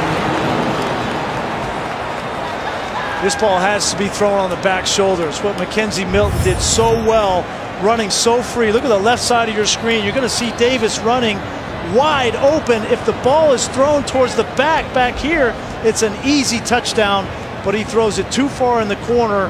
Tough catch for Davis and a missed opportunity. Yep, that one's on the quarterback, no question. Had him wide open. Here's Matthew Wright. A 37-yard attempt. Mac Loudermilk is the Mortell Holder of the Year. In case you didn't know, they have an award for the Holder of the Year. I don't recognize those. You know, because you didn't win it probably when you held those one or two times. Wright's field goal is good, and we're back to a 10-point game with 3:01 to play here in the third quarter. A Huge missed opportunity. But himself an afternoon, four touchdown passes, and as tough as they come. Well, he only had 12 touchdown passes coming into this game all season long, but he had three in the game against Texas A&M, and now four here tonight. That's seven in his last two games. Joe Burrow has gotten better as the season has gone on, and I know this coaching staff is really excited about him being there for a whole offseason and going into next year as their starter. Edwards Helaire out beyond the 30. Jasinski made the stop. You know, Burrow's got a, a sort of a silly side to him. It's a big story around the country early on about his socks. Wearing socks didn't match. Seems to have gotten his sock game back together. Much stronger sock game. Now they match? Apparently they match now. They look like they look like everybody else's socks. I thought he had one that was inside out and one that was regular. When you lose a seven you- you overtime tell game, me. you change them. Right. If they're both white, you can't tell. I'm disappointed. Don't change. Don't ever change, Joe. There used to be some cartoon characters on his socks. Edwards Helaire, try the left side. Stop for a loss by Brendan Hayes. Speaking about Ohio State, Burrow's still very close to that program. He said during Christmas break he actually went to Columbus, met with Urban, sat down, still talks just about daily with his old teammates. He said he was surprised to hear that Urban Meyer wasn't going to be coaching. He's going to retire. He just doesn't see his quote doesn't see Urban not coaching, which I don't know that uh, he is completely done coaching. Going to be in a more executive role now the athletic department for Ohio State. For the time being, these things, as always, are subject to change. Here's Burrow on third and nine to throw. Underneath to Dillon. Able to break free, stays on his feet. Derrick Dillon already has a touchdown. Still on his feet. And picking up blocks along the way. And he's inside the 35 of UCF. That's a 38-yard gain. We want to talk about the maturation of Joe Burrow. Here it is right here. Here's the safety. He's going to come down here. So Joe Burrow's pointing. He needs Brossette to pick him up. So he changes the offensive line, allows Brossette to pick it up, knows how he's protected, steps into a throw, and gets a huge first down. That's playing quarterback at the next level, and that's how Joe Burrow has progressed. Final minute here in the third quarter.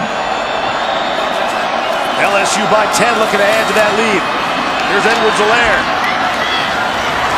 Inside the 30, stays on his feet and keeps on going. Pushing the pile.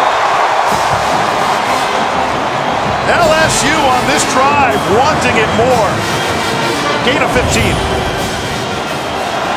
Well, we talked about everything that Clyde Edwards-Helaire has been through coming into this game. And he opened with a kickoff return that set the tempo. And now he's running hard in the second half. And Ed O couldn't say enough good things about the way he prepared in bowl practice coming into this game. And that's how the third quarter will come to an end. You see Todd McShay. Happy New Year, everybody, from Glendale, Arizona. PlayStation Fiesta Bowl. LSU looking up that 10-point lead on the ground. Edwards-Helaire. Again, the second and third effort. I think that UCF defense really needed the breather between quarters. Well, they, they, need a lot more than breath. They need they need some more muscle in the middle because they're getting blown off the football by Cushenberry, the center, Damien Lewis, right guard, and Brumfield, the left guard. They, they've taken this game on their backs and are controlling the line of scrimmage.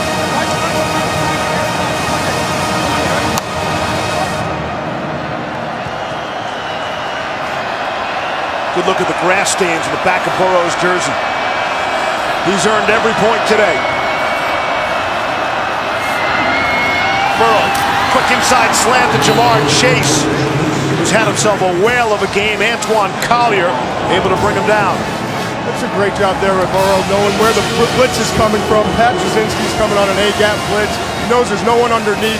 It checks right away to his underneath receiver on the slant. Really smart football today. Ja'Marr Chase, six catches, 93 yards in the touchdown. He is the leading receiver today for LSU. First and goal.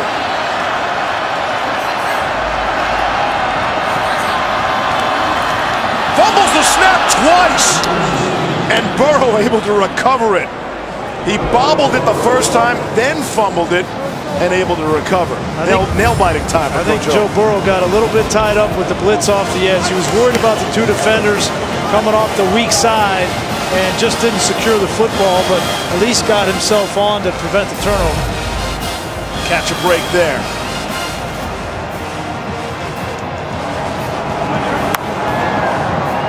Look at the laminated chart on his wrist. It says hang on to the snap. Second and goal. Push back from the eight. Brossette right into the pile. A whole lot of dark blue, light black, or whatever color the UCF is. Nate Evans makes the stop. These are the kinds of things that drive coaches absolutely bonkers. You're going down down the field on offense. You get in a situation, short yards, inside the two-yard line, and we fumble the snap, and now we're third and 10 from the 10 in a 10-point game. If we kick a field goal, it's still just a two-score game. That was a huge play. Third and goal.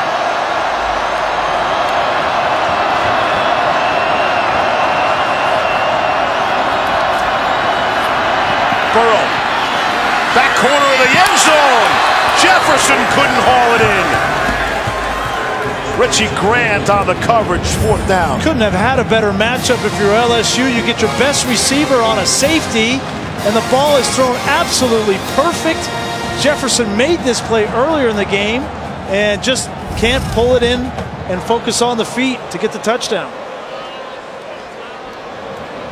Cole Tracy, one field goal away from tying the LSU record for the most field goals in a single season.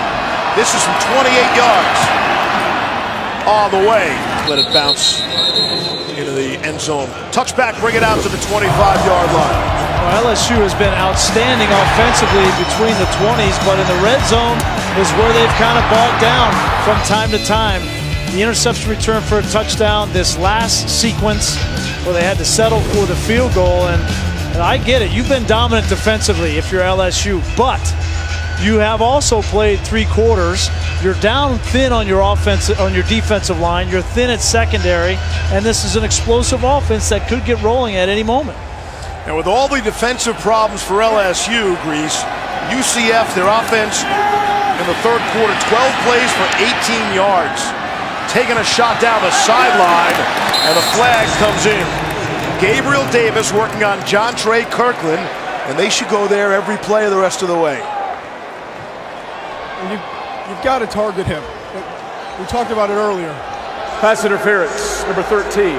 Defense, 15-yard penalty, first down. Jontre, Jontre Kirklin is, is playing wide receiver, kind of uses a trigger man and some wild card. They moved him around, and they just had to move him back to corner because they knew they were in trouble at that position when the top three corners, including Greedy Williams, who's the number one corner on my board for the NFL draft, all not in this game. On the ground, Greg McCrae trying to patiently pick his way. I can't tell you how difficult it is, right, to come in and play defensive back like this in this situation. You see the guys that have been that are out of this game, but you're asking Jontre Kirklin to do something very difficult. Here's Mack, able to get out of there. Darriel Mack on the run. Knows he has to get rid of it now, and he'll throw it away. Third and eight. And really, the best defense against having these corners out here on islands is getting this pass rush. And so Rashard Lawrence, Andre Anthony, that's Divinity getting in there. They have to get pressure on Darriel Mack. That's their best answer. Not thinking that Jontre Kirklin is all of a sudden going to become a great corner. He doesn't have any experience Right. playing. This is not an indictment on Kirklin. They have been pressed into an unfortunate situation. You knew about Williams, you knew about Fulton, you knew about Joseph. You didn't know you were going to lose Terrence Alexander. You didn't know you were going to lose Grant Delpit.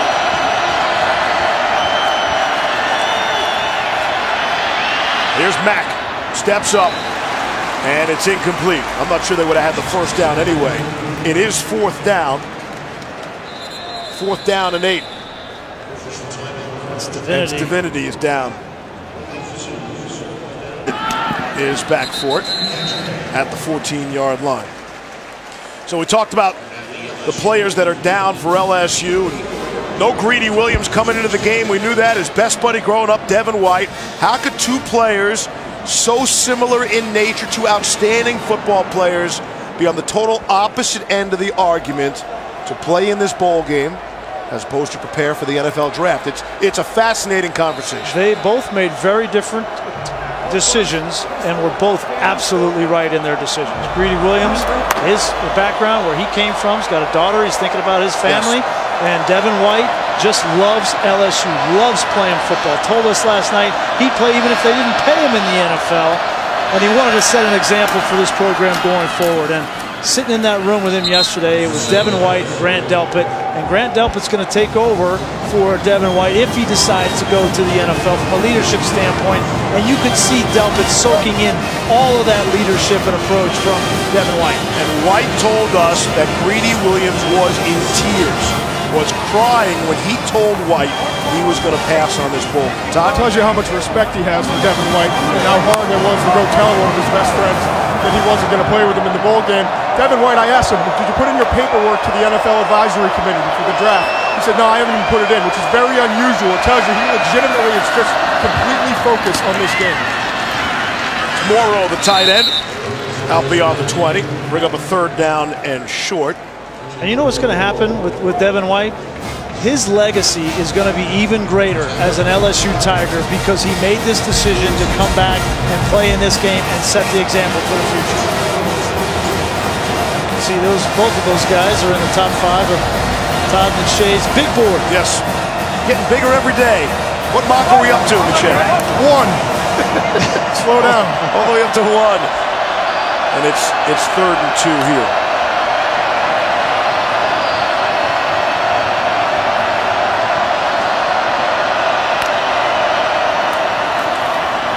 Inside handoff throw set, got the first down and more. Out beyond the 30-yard line, Joey Connors made the stop. Here's what I think about the sitting out, Griese, and I get it. I don't think anyone in college football likes it, but some players and people will understand it.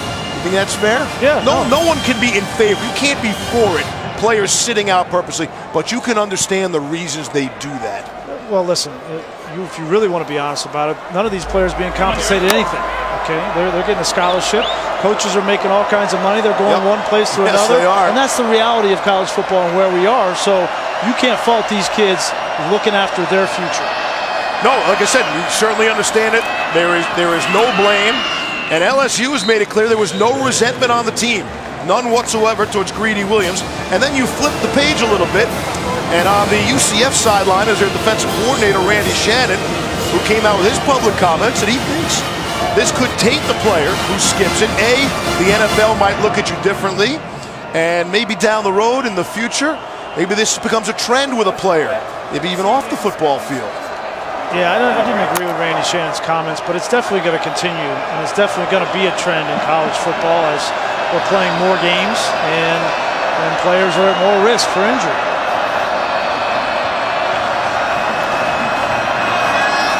Here's Brossette, right up the middle. Another first down. Approaching midfield.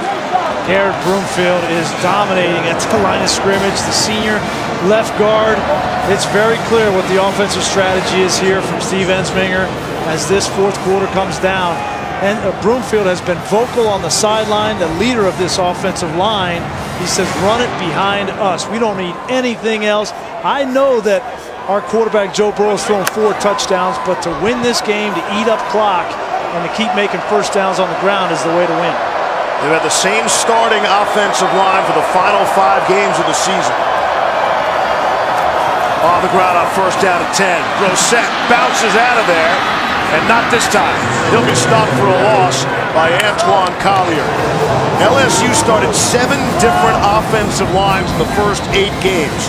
Keep in mind, they won the first five games of the season. They started red hot, Todd. And they, they've been so impressive today. We said that the biggest difference between LSU and Central Florida is going to be in the trenches. The offensive line has protected Burrow all day long. Now, when they need to run out the clock, pound away, they've done a tre- tremendous job, especially in the second half. And I've just been so impressed defensively, and their defensive front really controlled the game as well. This is four-minute offense with eight minutes left. Correct. Second and 13. Brossette again. But everyone asks about the difference between an SEC or a Power Five school and a School of Five. Yes. And, and I think, I think the biggest difference is you, it's so hard to find the big men that can actually play at a high level. And so to get to have the depth is the difference to me. Week in and week out, if UCF is playing the schedule that LSU is playing, I, I just can't buy it. LSU played one of the toughest schedules in all of college football. I mean, I don't think there's any question about that. And you're absolutely right, Todd. For everybody that wonders, Power 5 versus the non-Power 5, look at the line of scrimmage right now, and you'll have your answer.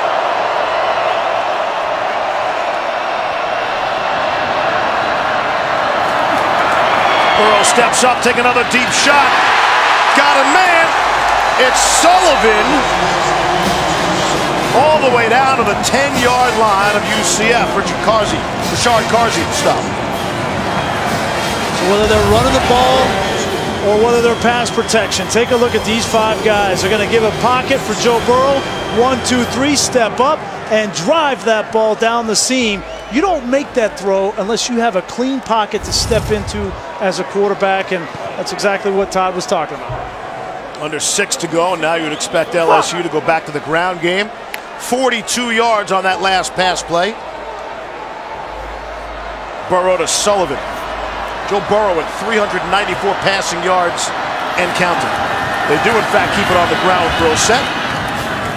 Gets back to the line of scrimmage. I think it's worth mentioning just for a little bit more perspective, Sure. okay? Because this is what this game was about the Power Five versus the non Power Five, the playoff conversation. This offensive line for LSU was nowhere near the best offensive line in college football.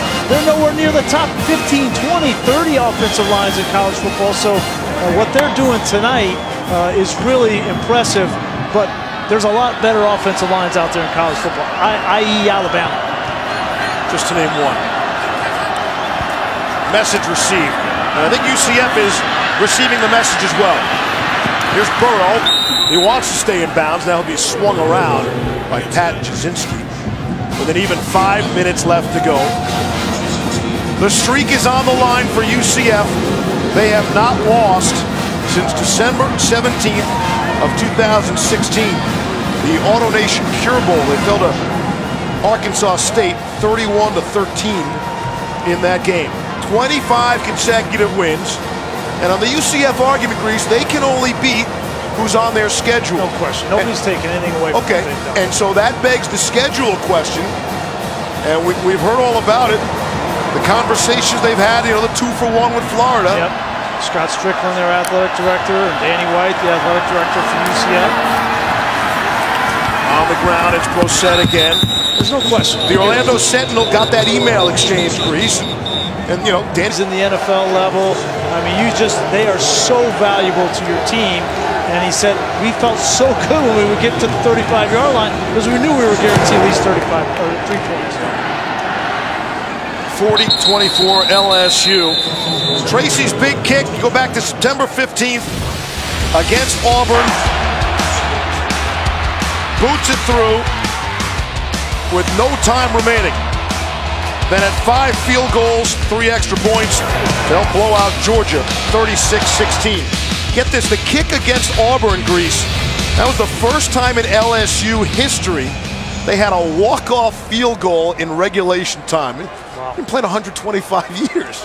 you know, any kind of all-time LSU record is a record. Good on you, Cole Tracy.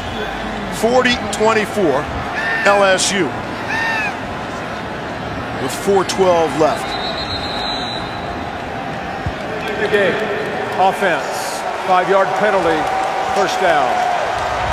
Obviously desperation time here for UCF, but it's still a two-score game. You have two touchdowns and two two-point conversions, but you got to start here on this. Treat this like a two-minute drill and go down the field. They're going to have to throw the football, and I like those inside slants with Darriel Mack. LSU held the ball for over seven minutes on that last drive. There's one of those slants. Tre Nixon could not hang on to it. There have been a lot of drops for UCF today. We've had some big ones. Gabe Davis had a huge drop, which would have been a 70-plus touchdown, and another drop there from Tre Nixon. Darriel Mack hasn't played his best game, but he hasn't had all the help either. And Mack's going to be taken down. I saw a face mask from here.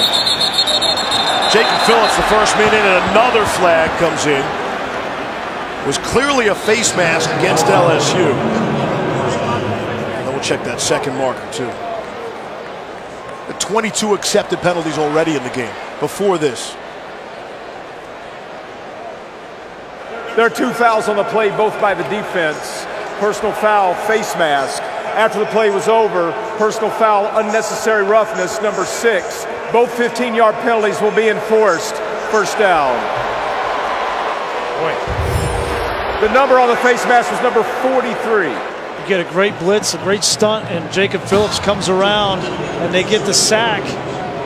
The face mask is one thing. Sometimes that's unavoidable, but personal foul after the fact, and you're just giving UCF a short field here. I think there's one thing we know about UCF. They're not going to give up. They're not going to throw the towel in. They're going to continue to fight. They have just two first downs, Griese, in this half. Both have come on penalties.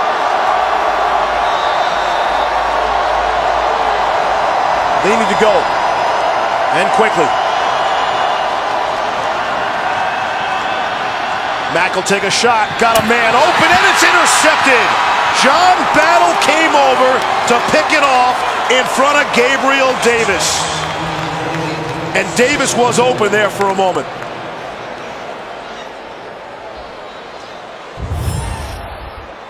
Here's the run this on the outside. Here's the safety battle. He's going to be over the top. This ball needs to be thrown right about here, but you can't throw it too high with a lot of air. That gave Battle an opportunity to come break it up. So it's not an interception. Did he not get a foot down? He comes down out of bounds. Oh, yeah. So it just goes as a noisy, incomplete pass. Third and two. On the ground to Otis Anderson, trying to pull away from some people. And Devin White just won't have it. White yanks him down by his jersey. Yet another first down. And now you've got to run five or six plays. You've winded the defensive line. And so now the pass rush is not quite as severe. Gives you an opportunity to throw the ball down the field. Mack loads up and fires back of the end zone. Gabriel Davis was in the neighborhood, so too was John Battle. Wow. Time he had time to throw the football, but he was wildly inaccurate. He had Davis streaking on the on the deep post, but missed him by about 10 yards. He's had Davis all game. He, he's had Davis all game. Mack has missed on his last seven pass attempts.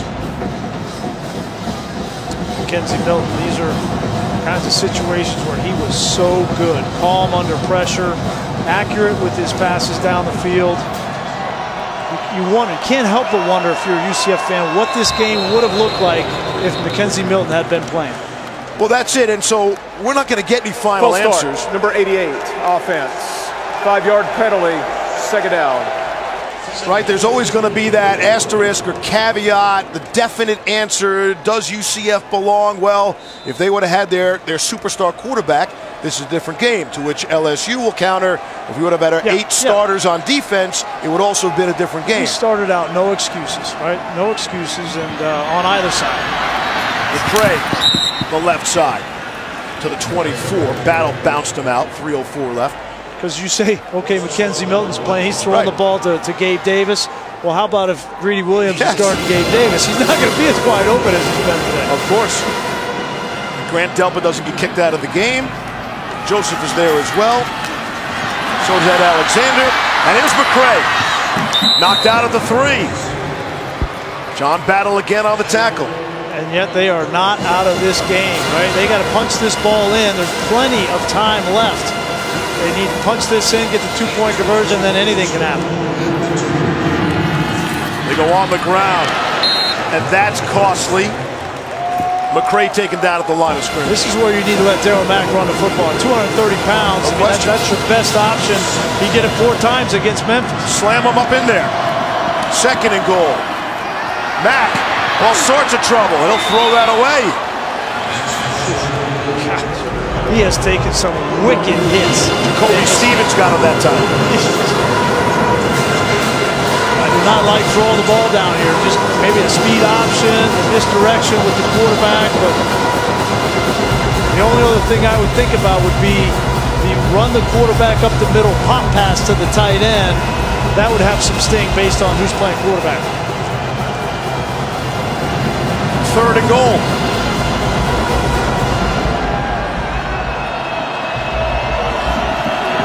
Taj McGowan in the backfield. It's McGowan. And he gets there for the score. Touchdown, UCF. Yes, they're going for two. That's the easy math. Shar Lawrence is down on the field. He's had a heck of a game, too.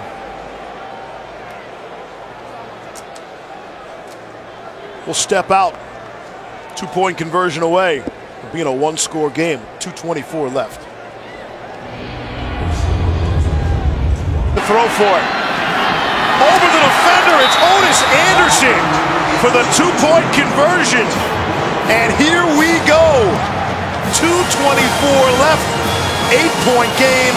UCF has one timeout remaining. This is a tough throw for Darriel Mack, and he did it with excellence and a great catch from Anderson. He's going to get pressure right into space immediately from Stevens, and then to negotiate the defender between you and a back running away from you, not an easy throw and catch, time. I love the, the play call by Josh Heupel. You had three options there.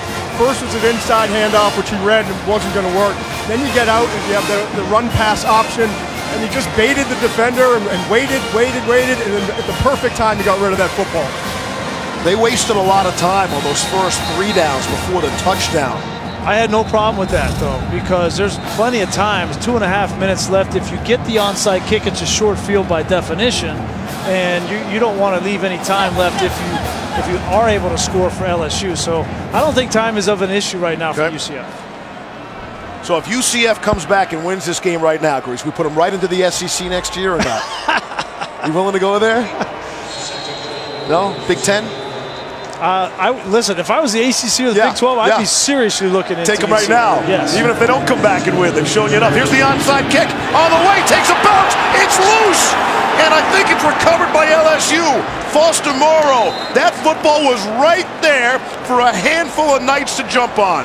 Wow. That's the best onside kick I have seen in a long time.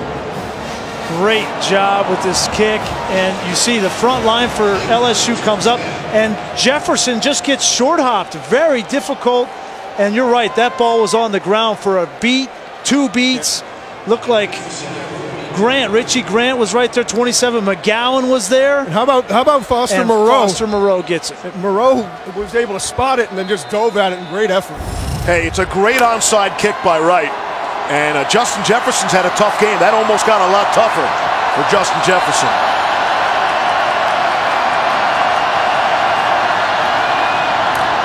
Brossette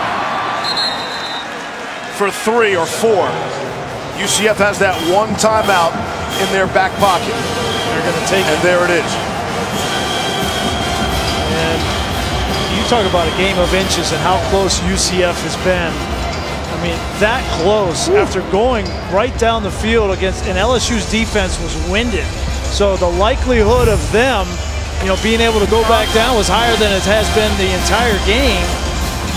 And they were this close to getting an opportunity to go down and tie this football game up.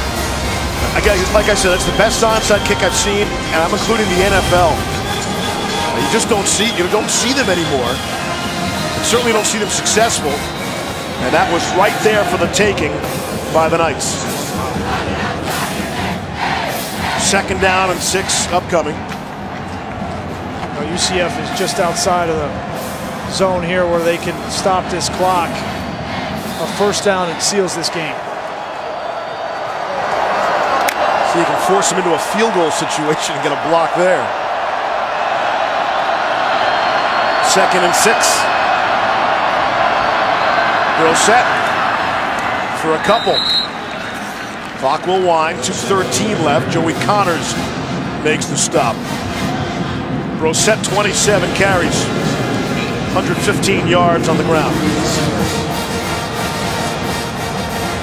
116 now, beg your pardon. Joe Burrow's going to take sweet time. You don't want to come out of this huddle until about 10 seconds on the clock, and you want to snap it under three seconds on the play clock. Remember how this game started? Joey Connors rocking Joe Burrow's world.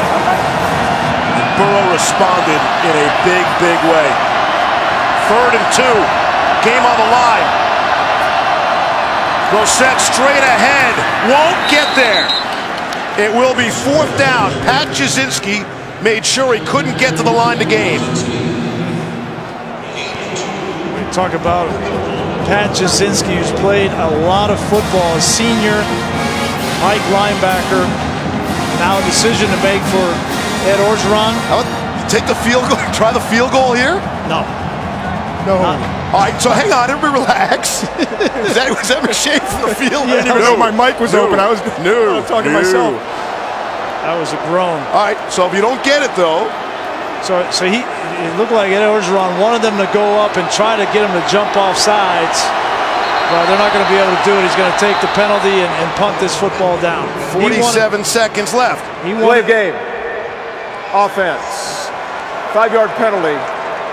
You see Ed Fourth Orgeron down. talking talking to Joe Burrow. He said, "Listen, I wanted you to get up to the line of scrimmage and go through a whole snap count, try to get him to jump off sides, and if we don't, we'll take the, the penalty." UCF has chosen to decline the 10-second runoff. Therefore, the clock will start on the snap. So one more opportunity for that young man. Yes. Third career start. They're going to add a second back on the clock.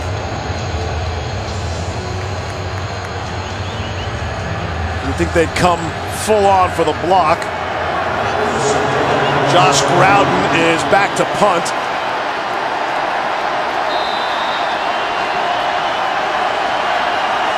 Otis Anderson at his eight. It's a good snap.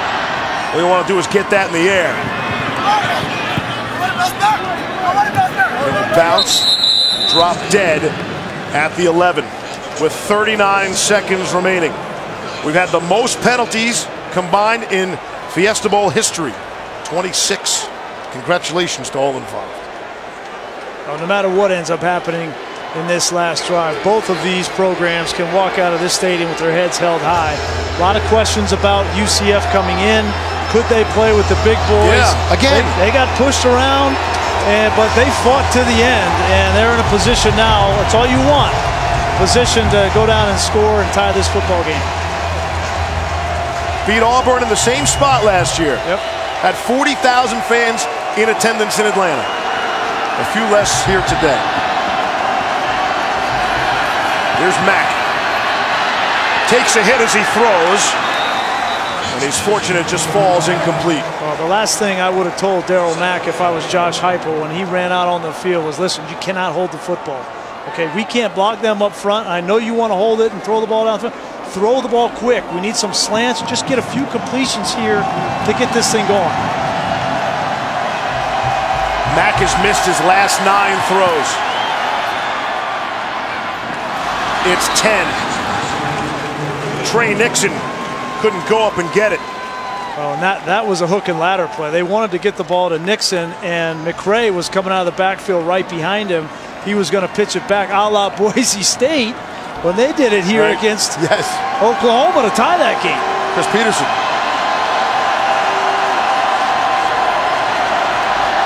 Third and 10. Good protection this time. He's got the time. Throws down the middle of the field, bounces up in the air, and it is intercepted. Picked off by Jacoby Stevens, who will just go down with 20 seconds left. That should seal the deal for LSU.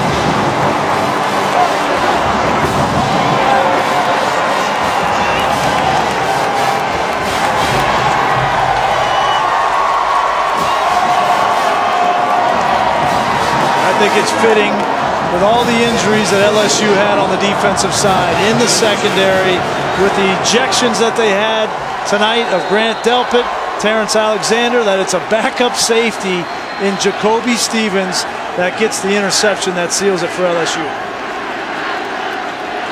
And we are a knee away.